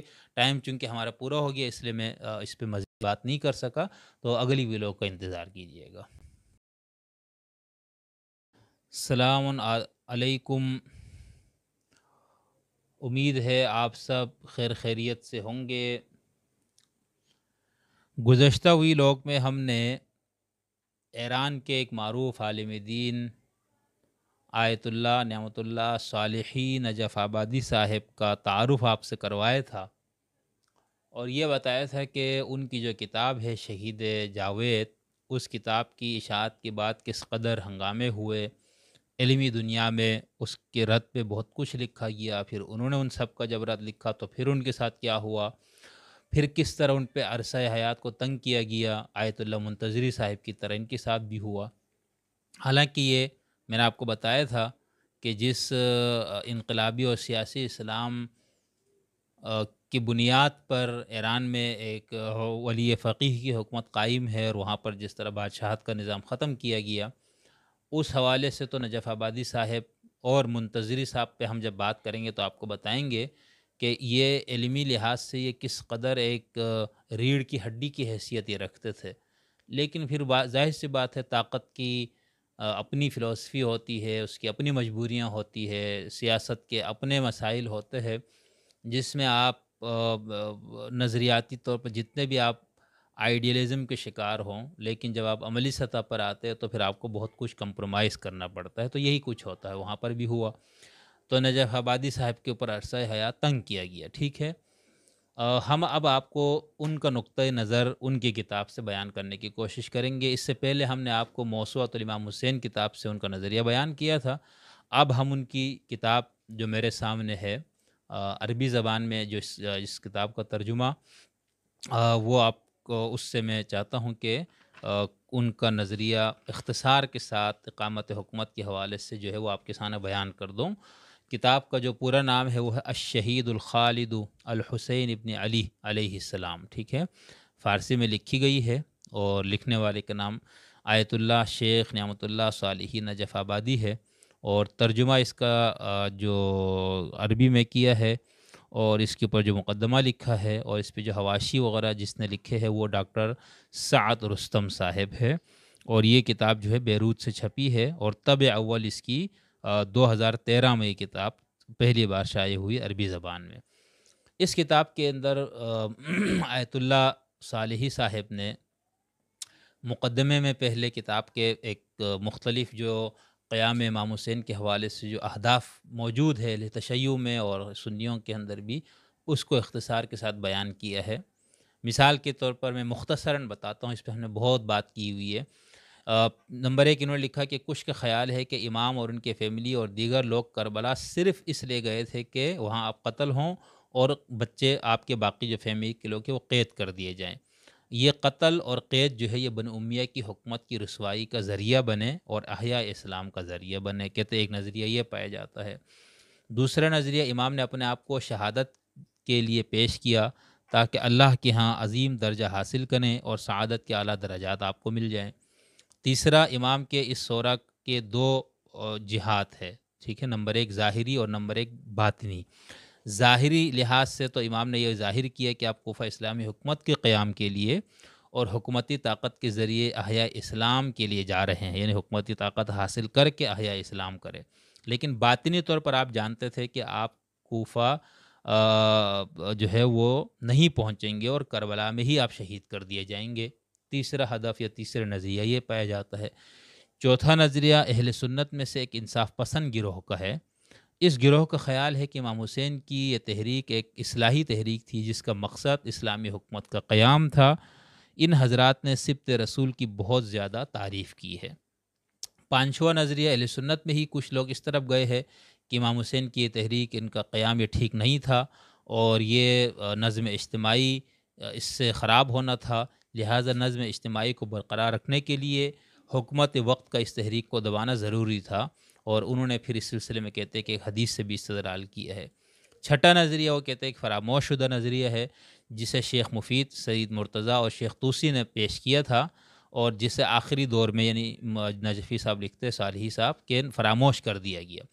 ہماری کتاب کی بنیاد ان کے بار علماء کی آراء پر مشتمل ہے۔ یعنی آیت اللہ نجف آبادی صاحب یہ فرما رہے کہ ان کا اپنا جو نظریہ ہے وہ ان کا خود ساختہ نہیں ہے، بلکہ اس کی بنیاد جو ہے وہ شیخ مفید اور شیخ سید مرتضیٰ وغیرہ جو کبار علماء ہے انہوں نے جو اس پہ نظریہ پیش کیا ہے، وہ اسی کے اوپر ان کی بنیاد ہے۔ ہم آگے ڈیٹیلس آپ کو بتائیں گے، کیونکہ تمام اس حوالے سے جن لوگوں نے بھی اس کو خروج کے زمین میں ذکر کیا یا قیام حکومت کے مقصد کے طور پر، ان سب نے شیخ مفید اور شیخ مرتضیٰ سے استدلال کیا ہے۔ تو ہم مختصراً آپ کو یہ بھی بتائیں گے کہ ان دونوں نے کیا کہا تھا جس کی وجہ سے یہ بات کی جائے۔ تو نجف آبادی صاحب کا یہ کہنا، یہ ان کا یہ دعویٰ ہے کہ انہوں نے اپنے نظریے کی بنیاد ان کبار علماء کے نظریے پہ اس کو قائم کیا۔ پھر انہوں نے ان دونوں کی اہل تشیع، فقہ میں اور اصول میں جو ان دونوں بزرگوں کا خاص طور پر جو مقام اور مرتبہ ہے، اس کو بہت تفصیل سے بیان کرنے کی کوشش کی ہے۔ اب نظر آباد نظر صالحی صاحب، نجف آبادی صاحب کا اپنا جو خیال ہے، وہ یہ ہے وہ یہ کہتے ہیں کہ حسین علیہ السلام کا جو مقصد تھا، وہ اسلامی حکومت کا قیام تھا، ٹھیک ہے؟ بالکل دو ٹوک واضح لفظوں میں یہ لکھتے ہیں۔ امام حسین نے صفحہ نمبر ستر پہ لکھتے ہیں کہ امام حسین نے اسلامی حکومت کے قیام کی طرف کیوں متوجہ ہوئے؟ اب آپ کو کیا ضرورت تھی یا کس وجہ سے آپ نے یہ قدم اٹھایا؟ لکھتے ہیں کہ معاویہ کی حکومت اسلامی ریاست کے لیے ایک مہلک بیماری تھی اور اس حکومت میں لوگوں پر بہت جبر نافذ تھا۔ اس قدر زیادہ جبر تھا کہ کسی کے لیے کوئی اختلافی بات یا اختلاف فکر کرنا یا حکومت کے خلاف تحریک چلانا بالکل ناممکن تھا۔ اس دور میں ایک اصلاحی اور انقلابی تحریک کی ضرورت تھی یعنی معاویہ کے دور میں۔ امام حسین معاویہ کی موت کا منتظر تھا۔ جب معاویہ کی وفات ہوئی تو اس تحریک کا وقت آ پہنچا۔ یعنی امام حسین انتظار میں تھے کہ امیر معاویہ کا انتقال ہو اور یہ جبر کا جو ماحول اور ایک ظلم اور استبداد کا جو ماحول یہ ختم ہو جائے۔ یہ اہل تشیع عالم ہے تو ظاہر سی بات ان کا نقطۂ نظر اسی طرح ہے۔ معاویہ کی وفات ہوئی تو اس تحریک کا وقت عام پہنچا تھا۔ معاویہ کی وفات کی بات امام حسین کو، امام حسین کو یہ قدم اٹھانے سے پہلے یعنی وہ ابھی قدم اٹھانے ہی والے تھے کہ یزید کی حکومت قائم ہو گئی۔ اور پھر یزید نے امام حسین سے زبردستی بیعت لینی چاہی۔ یزید کی حکومت امام حسین کی جان کے در پہ ہو گئی تھی، اسی لیے امام نے مکہ کی طرف ہجرت کی، ٹھیک ہے؟ پھر اسی دور میں کوفہ سے خاص طور پر اور ادھر ادھر سے لوگوں کے خطوط اور مطالبات کا ایک سلسلہ شروع ہوا۔ ٹھیک ہے، اس اسی اسنا اسی عرصے میں یہ بھی ایک یعنی لوگوں کی طرف سے مطالبات آنا شروع ہوا کہ بھائی اس ظالم حکومت سے ہماری جان چھڑاؤ۔ پھر آپ نے ان مطالبات اور ان خطوط کو دیکھتے ہوئے مسلم بن عقیل کو جائزہ لینے کے لیے بھیجا۔ وہاں سے ان کا پیغام بھی آیا کہ آپ فوراً آ جائے زمین تیار ہے، ٹھیک ہے۔ اس کے بعد لکھتے ہیں کہ اس کے بعد پھر مصنف نے یعنی نجف آبادی صاحب نے حسین کی کامیابی کے امکان کی بہت ساری وجوہات بیان کی، کیونکہ اس پہ سب سے بڑا اعتراض تو یہی ہے نا کہ اگر امام قیام حکومت کے لیے جا رہے تو کس تیاری کے ساتھ؟ کون سا جتھا تھا؟ کون سی تحریک تھی؟ کون سا آپ کے پاس لاؤ لشکر تھا؟ کون سا آپ کے پاس طاقت اور قوت اور اسلحہ تھا، جس کو ہم کہے کہ بھئی ایک ظالم ڈکٹیٹر اور ایک بہت ہی جابر قسم کی حکومت اور اس کے عمال سے آپ ٹکرانے جا رہے تو اس کا پھر انہوں نے بہت تفصیل سے سب سے جو ہم یہ کہہ سکتے ہیں کہ اس نظریے کو ثابت کرنے کے لیے جو سب سے مشکل مرحلہ وہ یہی ہے، ٹھیک ہے؟ لیکن بہرحال اس میں جب آپ نے نظریہ یہ بنا لیا اور اسی کو ہی ثابت کرنے تو دلائل آپ کے پاس موجود ہے ٹھیک ہے؟ مثال کے طور پر انہوں نے کچھ اسباب یہ بیان کیے کہ ایک تو حکومت بہت کمزور تھی اور لر، لرزبر اندام تھی، ٹھیک ہے؟ کیونکہ عوام میں اس کو کوئی مقبولیت نہیں تھی۔ لوگوں کا حکومت سے مکمل مایوس رہنا، ٹھیک ہے؟ اور لوگوں کا اس حکومت کے خلاف شکوک، شبہات اور شکایات وغیرہ، ٹھیک ہے؟ بے بے چینی بہت تھی، ناراضگی لوگوں میں بہت تھی، کیونکہ بقول ان حسب کے کہ وہ ایک ملوکیت کا ایک دور شروع کر دیا گیا تھا اور موروثی بادشاہت کا بھی دور، تو یہ اس دور کے لوگوں کے لیے ناقابل قبول تھی اور یہ چیز بے چین کر رہی تھی لوگوں کو۔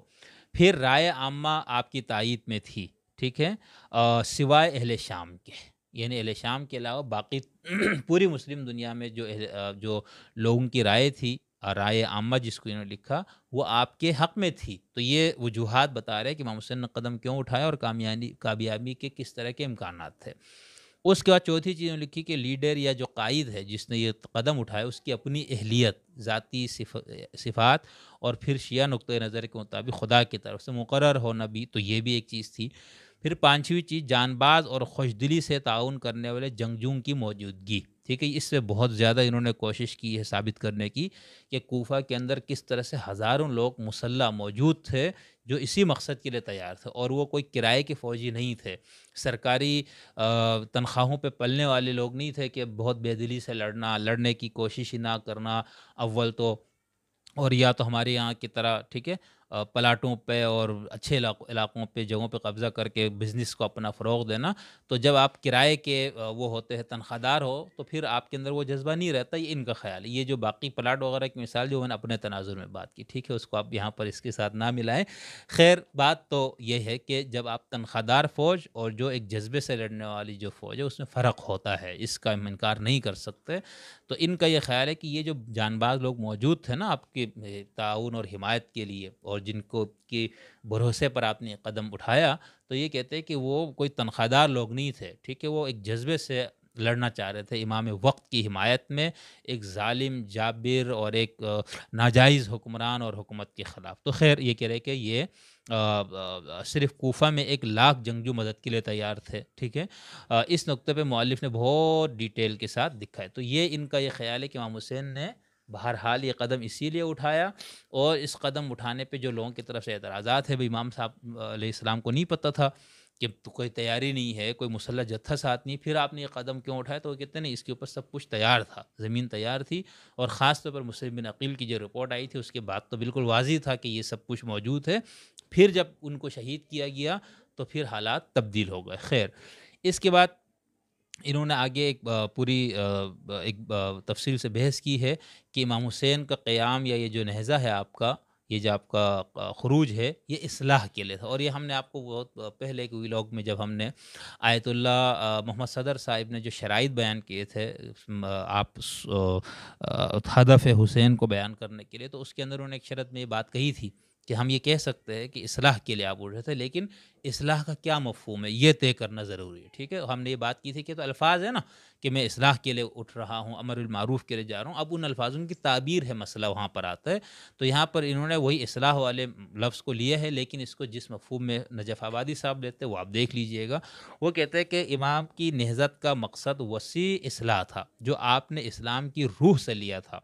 اس ہدف کی بنیاد اسلام کی حمایت اور دفاع تھا۔ امام حسین کے کلام سے استدلال کیے، انہوں نے تین حوالے دیے۔ اس کے بعد وہ لکھتے ہیں کہ ظالم حکومت کی تبدیلی ایک شرعی ذمہ داری تھی۔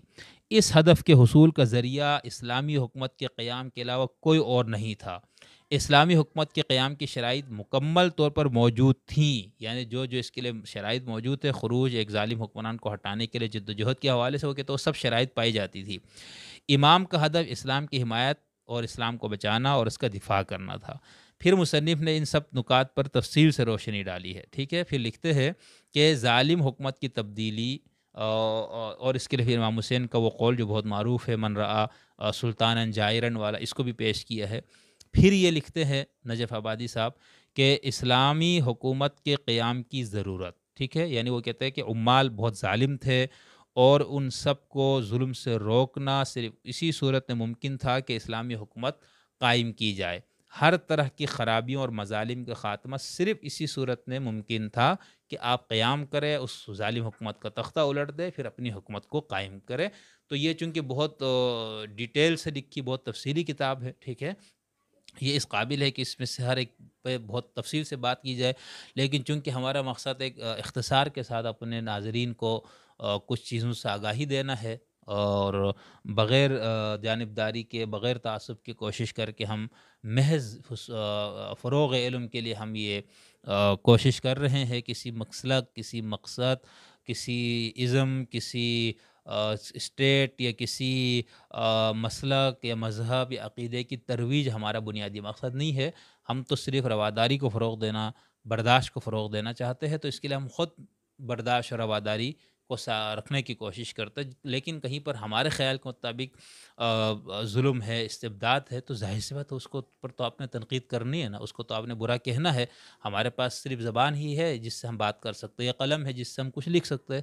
تو امید ہے آپ کو نجف آبادی صاحب کا نظریہ اختصار کے ساتھ میں نے بیان کیا، میں آپ کو ان کا نظریہ دیانتداری کے ساتھ میں نے جو سمجھانے کی کوشش کی، وہ میں آپ کو سمجھانے میں کامیاب ہوا ہوں۔ امید ہے آپ ہمارے ساتھ رہیں گے۔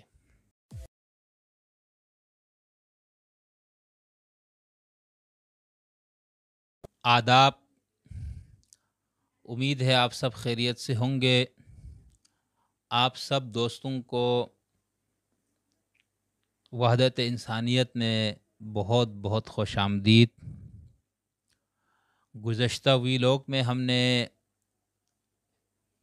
ایران کے ایک متنازعہ اور مشہور عالم دین مرحوم آیت اللہ، نعمت اللہ صالحی نجف آبادی صاحب کا نظریہ آپ کے سامنے پیش کیا تھا۔ اس کتاب میں نجف آبادی صاحب کا یہ دعویٰ تھا کہ یہ جو میں نظریہ بیان کر رہا ہوں امام حسین کے قیام اور خروج کے حوالے سے یعنی کہ وہ یزید کی حکومت کو ختم کر کے اپنی حکومت قائم کرنے کے لیے جا رہے تھے، انہوں نے یہ دعویٰ کیا تھا کہ یہ میرا یہ نظریہ ذاتی نہیں ہے یا کوئی نیا نظریہ نہیں ہے بلکہ یہی نظریہ شیعوں کے بہت معروف مشتحد اور اصولی شیخ مفید کا بھی ہے اور سید مرتضیٰ علم الہدا کا بھی ہے۔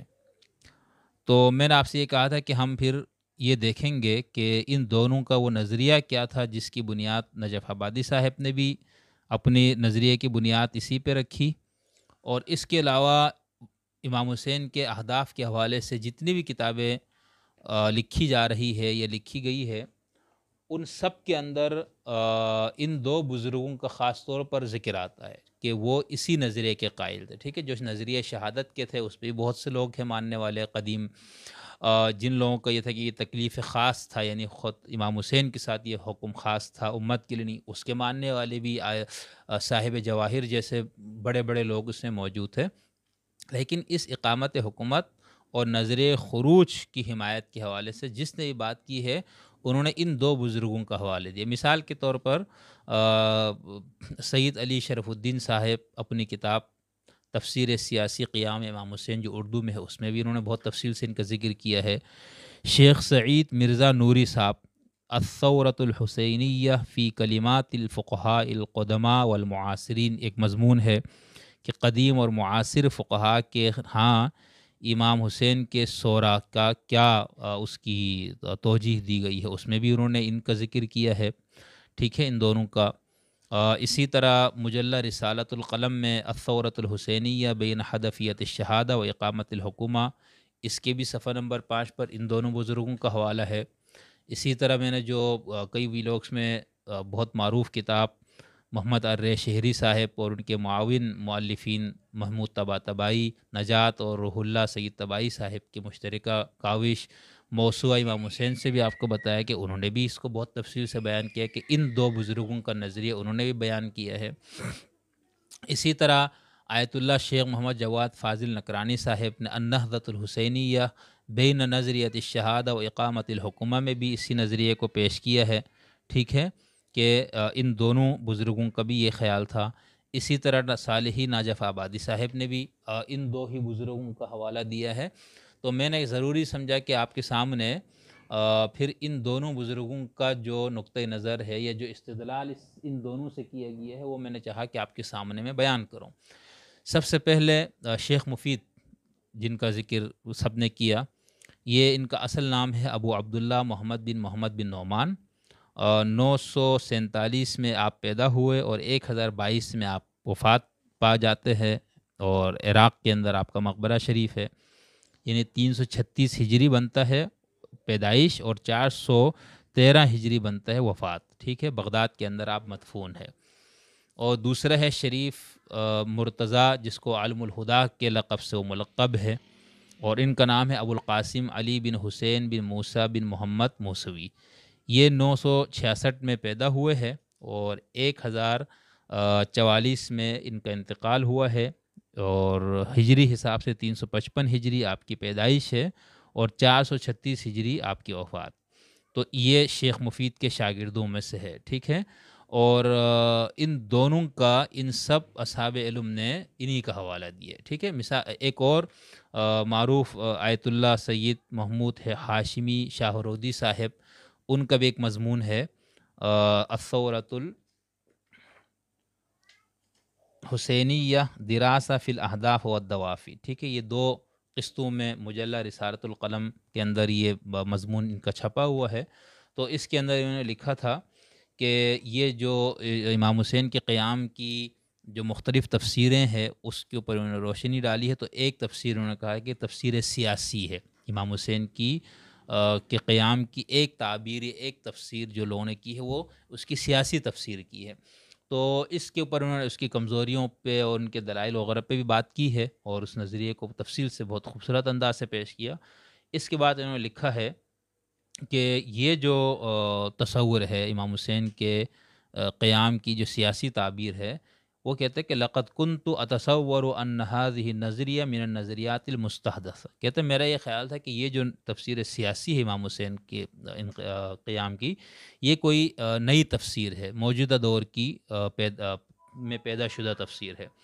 کہتے لاکنی فی مراجعتی لکتاب البحار الانوار۔ کہتے جب میں نے بہار الانوار کی طرف رجوع کیا اور جز الخامس والاربعین من ہو ٹھیک ہے فورٹی فائیو نمبر جل میں رعی تو ان صاحب البہار تو کہتے ہیں میں نے یہ دیکھا کہ جو صاحب بہار ہے ینقل مقطعا ان کتاب تنزیح الانبیاء لسید المرتضی۔ کہتے اس میں صاحب بہار نے ایک مقطع بیان کیا ہے یا نقل کیا ہے تنزیح الانبیاء جو کتاب سید مرتضیٰ کی ہے۔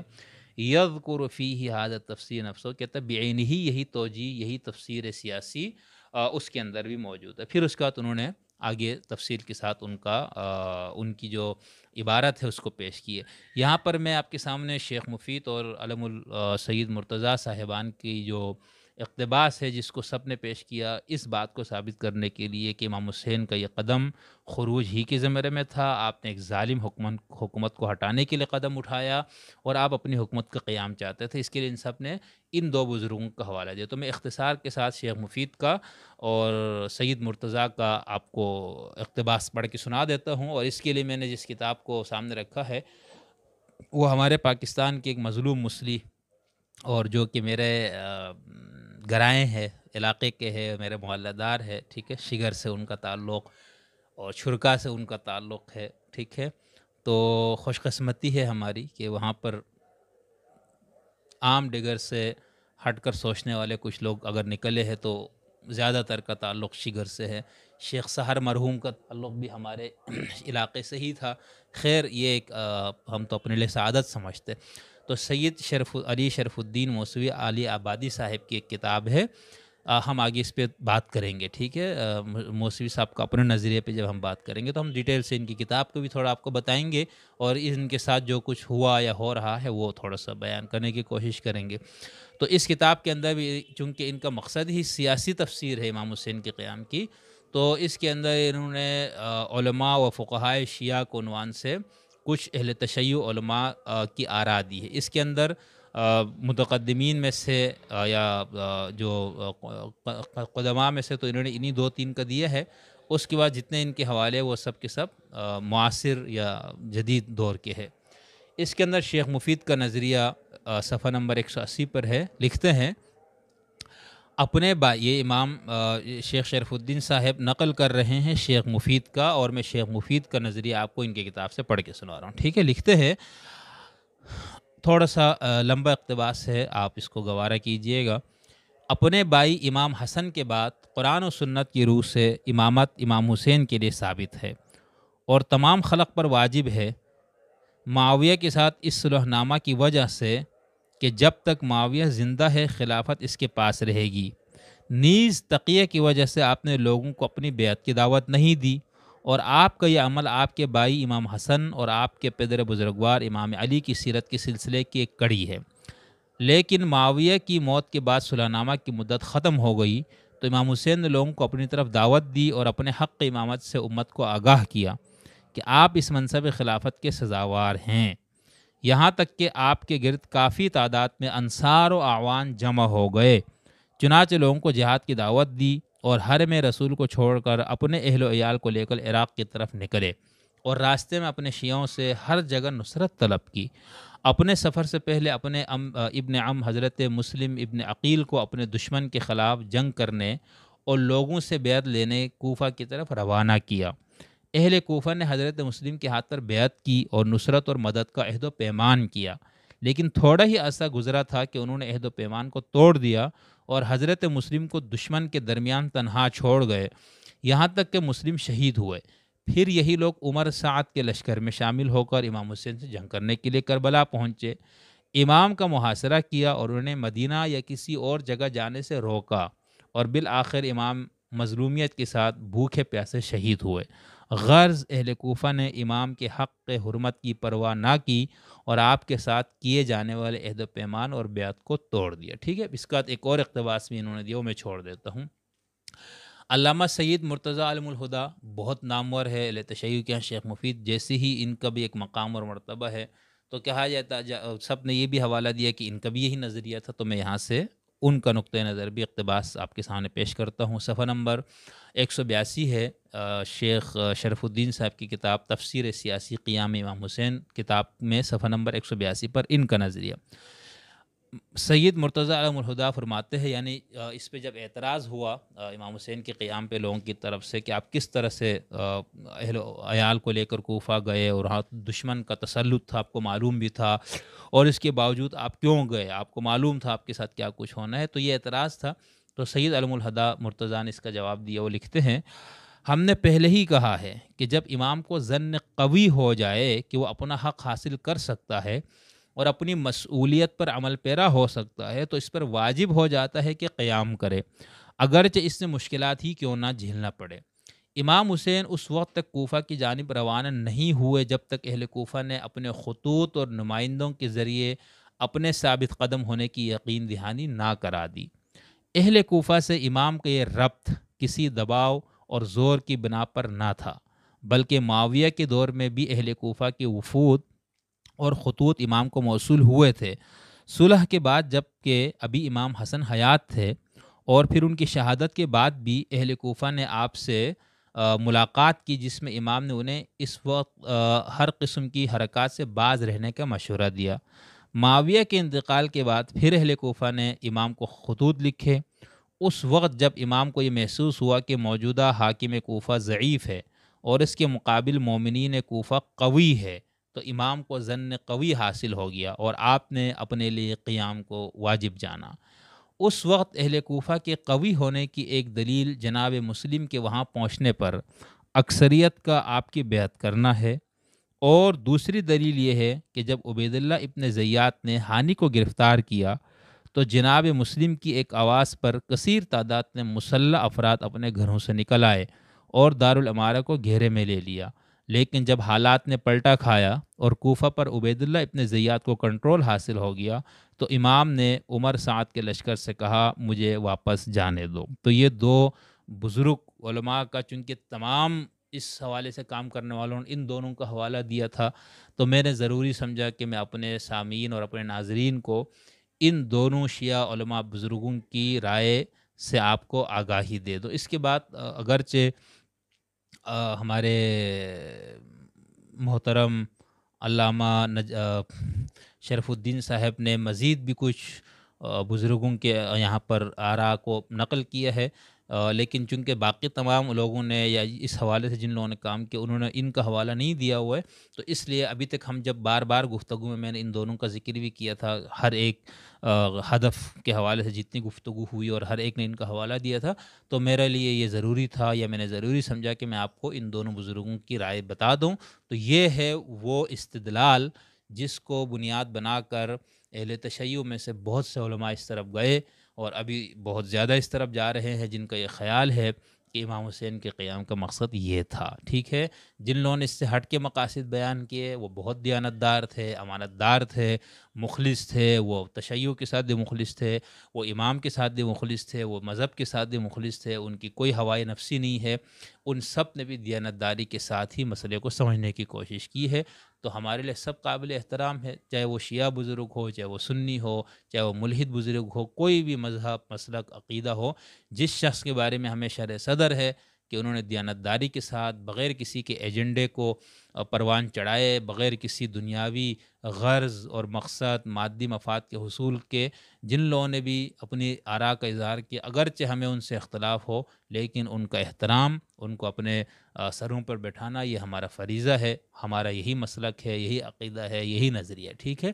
کہ کسی بھی شعبے سے اور کسی بھی عقیدے سے متعلق شخص اگر وہ دیانتدار ہے اپنے اس نقطۂ نظر کو سمجھ کے بیان کرنے میں، تو ہمارے لیے قابل احترام ہے، چاہے ہمیں ان سے سو فیصد اختلاف ہو۔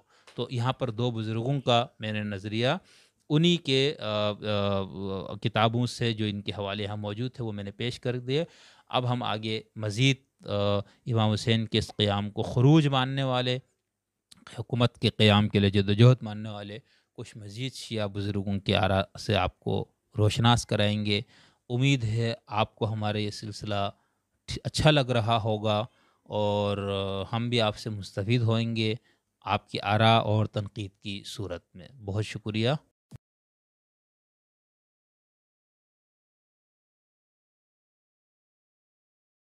آداب، سلام۔ گزشتہ ہوئی لوگ میں ہم نے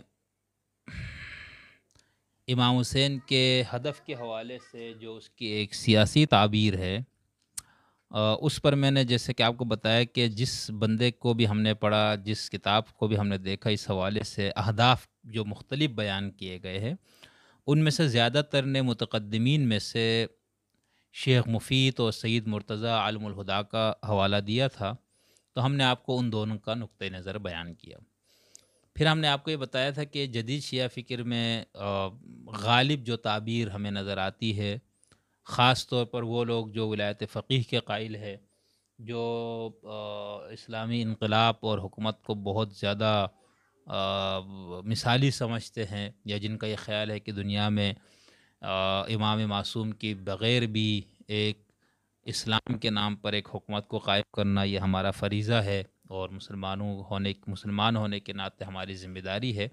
تو ان سب نے بھی ان کے لیے کچھ آیات سے استدلال، کچھ روایات سے استدلال کے بعد ان کے پاس جو سب سے بڑا اس پہ استدلال ہے، وہ سید الشہداء، حضرت امام علی مقام، امام حسین علیہ السلاۃ والسلام کا یزید کے خلاف قیام ہے۔ ٹھیک ہے؟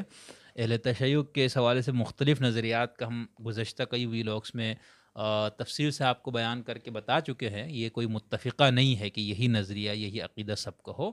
لیکن بہت سارے اس حوالے سے جو آرا ہے، بہت ساری آرا، بہت سارے نظریات میں سے ایک نظریہ اور غالب جو اس وقت نظر آتا ہے، وہ یہی نظر آتا اس حوالے سے ہم مزید اور اہل علم کو میں آگے بھی بیان کرتے رہیں گے، گزشتہ بھی ہم نے آپ کو بتایا، نجف آبادی صاحب وغیرہ کا۔ آج کی گفتگو میں ہم آپ کے سامنے اہل تشیع دنیا کے ایک بہت عظیم شخصیت جن کو ولایت فقی ہے متلقہ کو ماننے والے تمام شیعوں کے ہاں ان کے حساب سے تاریخ میں اس جیسی کوئی اور شخصیت نہیں آئی، خاص طور پر شیعہ تاریخ میں۔ اور وہ ہے امام خمینی صاحب۔ امام خمینی صاحب جو ہے، ہم نے اپنی کتاب میں بھی اس پہ تفصیل دینے کی کوشش کی تھی کہ وہ کس طرح سے اسلام کی سیاسی تعبیر کے اسیر ہوئے اور کس طرح سے پھر انہوں نے اس کو اپنی، چونکہ وہ ایک جینیس انسان ہے اور ایک بہت باصلاحیت انسان تھے، تو انہوں نے اپنی اس خدا داد صلاحیتوں کو برائے کار لاتے ہوئے کس طرح سے اس شیعہ فکر کو بہت زیادہ متاثر کیا اور قدیم شیعہ فکر کے اندر بہت بڑی بنیادی انہوں نے تبدیلی پیدا کی کہ امام معصوم کے بغیر بھی ولی جو فق، ولی فقی جو ہوتا ہے، وہ بھی ایک خدا اور رسول کے نام پر ایک حکومت قائم کر سکتا ہے اور اس کو بھی وہی تمام اختیارات حاصل ہیں جو امام کو یا معصوم کو یا نبی کو ہے۔ تو اس طرح سے انہوں نے سیاسی اور انقلابی اسلام کا تصور کو بہت شد و مت کے ساتھ بیان کیا ہے۔ اپنے استدلالات میں انہوں نے اپنے اس انقلاب کے لیے جس طرح جس دلیل کے اوپر بہت زیادہ اصرار کیا یا بہت زیادہ زور دیا ہے، وہ حضرت امام حسین کا قیام ہے، ٹھیک ہے؟ اچھا امام خمینی کی طرف سے کوئی ایک باقاعدہ، ایک محققانہ تصنیف تو اس پہ نہیں ہے، ان کے خطبات ہے لیکچرز ہے ان کی مختلف گفتگویں ہیں اور ولی فقی بننے کے بعد بھی اور اس سے پہلے بھی جو عاشورہ کے اندر انہوں نے جو امام حسین کہ اس پہ بیان کرتے ہوئے جن مجالس وغیرہ سے انہوں نے خطاب کیا، ان میں یہ سب چیزیں آئی ہے تو ان سب کو جمع کیا گیا ہے صحیفہ امام کے نام سے اور صحیفہ نور کے نام سے۔ اس کے اندر موجود ہے ان کے وہ سارے کوئی بائیس جلدوں میں وہ کتاب موجود ہے۔ اس کے علاوہ جو نہض عاشورہ کے عنوان سے ایک کتابچہ بھی موجود ہے امام خمینی کا۔ تو ہمیں یہ نظر آتا ہے کہ امام خمینی نے اس کو بہت بیان کیا، لیکن وہ اس بحث میں نہیں پڑے کہ نظریہ شہادت کو کیا مقام دیا جائے اور نظریہ تکلیف خاص کیا۔ اس طرح سے انہوں نے بحث نہیں کی جس طرح باقی اہل علم نے اس پہ بحث کی ہے۔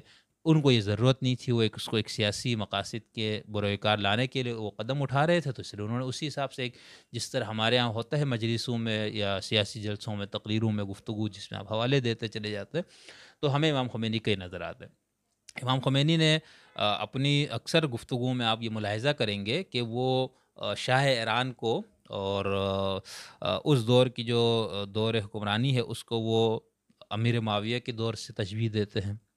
شاہ ایران اور اس کے تمام جو اس کے حامی لوگ ہیں، ان کو وہ یزید اور یزیدیوں سے بھی تجبی دیتے ہیں، ٹھیک ہے؟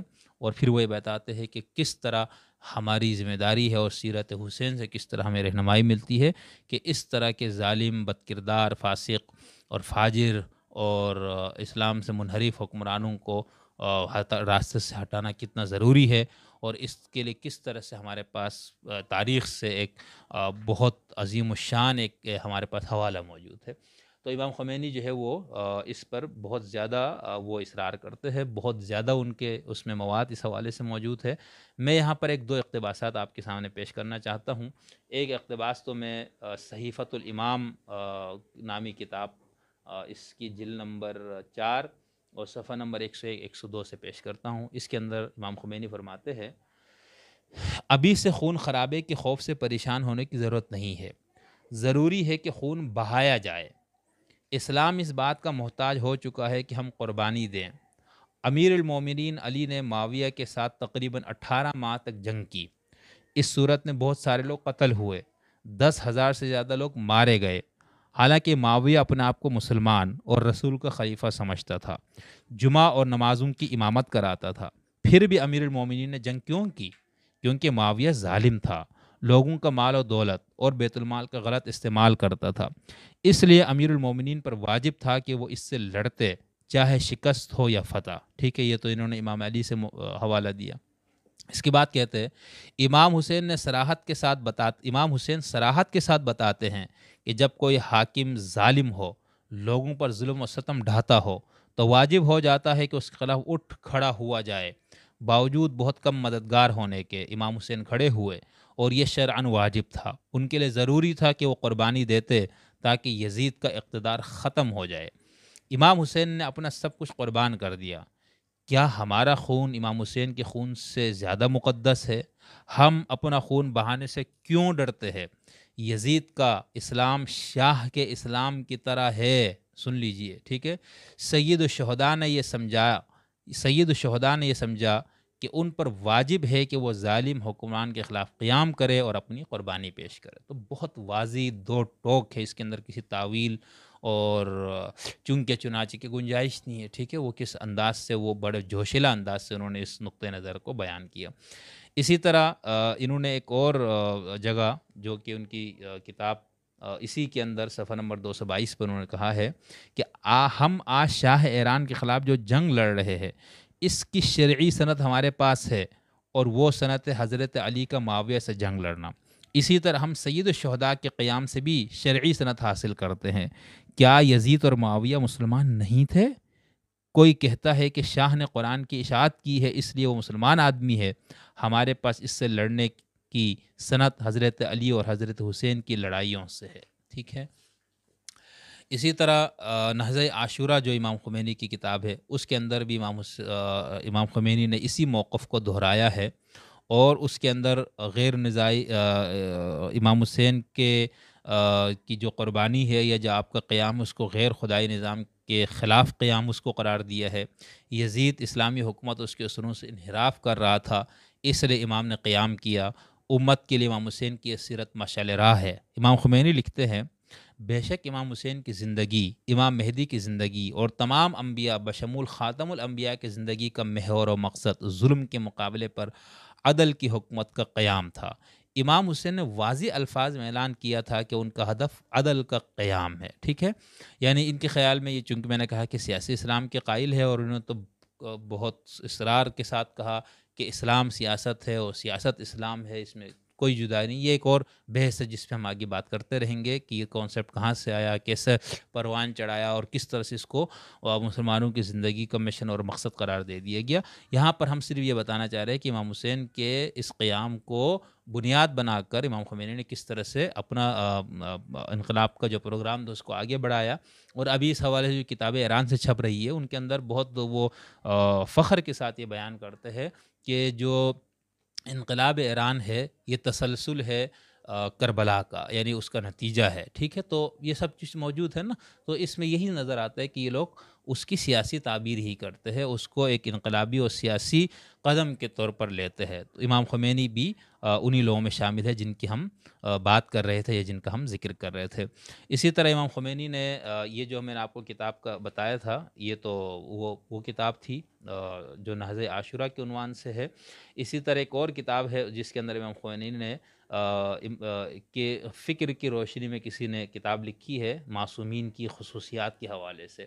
تو اس کتاب کے اندر بھی امام خمینی کا ایک قول انہوں نے نقل کیا ہے کہ ہم قلت تعداد، قلت اسلحہ، قلت قوت کا بہانہ بنا کے ہمیں نہیں گھروں میں بیٹھنا چاہیے، بلکہ ظالم اور فاسق اور غیر اسلامی حکومتوں کا تختہ الٹ دینا چاہیے۔ یہ بہانہ نہیں ہو کہ لوگ نہیں ہے ہمارے ساتھ معاون مددگار لوگ نہیں ہے وہ کہتے ہیں ایسا نہیں۔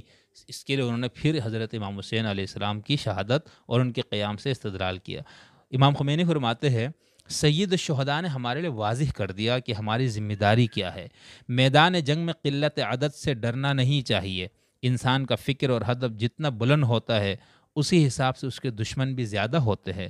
حسین نے ہمیں سکھایا ہے کہ کم تعداد کے ساتھ کیسے جنگ کرنی ہے اور ظالم حکومت سے کس طرح ٹکر لینا ہے۔ جس حکومت کا خیال ہے کہ وہ ہر چیز کے نگبان ہے یہ سب باتیں ہمیں سعید الشہدا اور ان کے اہل بیت نے سکھایا ہے، ٹھیک ہے؟ تو امام حسین کے حوالے سے حضرت امام حسین کے قیام یا ان کے اس حوالے سے امام خمینی کا نقطۂ نظر بہت کچھ ہونے ہے اس حوالے سے، اس سے بہت زیادہ مواد موجود ہے اردو میں بھی بہت کچھ ترجمے کے ساتھ دستیاب ہے، باقی زبانوں میں بھی ہے۔ تو ان میں سے میں نے آپ کے سامنے کچھ اقتباسات بطور نمونہ اس بات کو ثابت کرنے کے لیے پیش کرنے کی کوشش کی ہے۔ کہ امام خمینی بھی اس بات کے ہی قائل تھے کہ امام حسین حکومت کا تختہ الٹ کر اپنی حکومت قائم کرنے کے لیے آپ نے خروج کیا تھا، آپ نکلے تھے، ٹھیک ہے؟ اب ہم مزید کچھ ماں بعد خمینی فکر کے مزید کچھ اہل علم کی آرا آپ کے سامنے اس حوالے سے پیش کریں گے۔ اگلی ویلوگس کا آپ انتظار کیجیے گا۔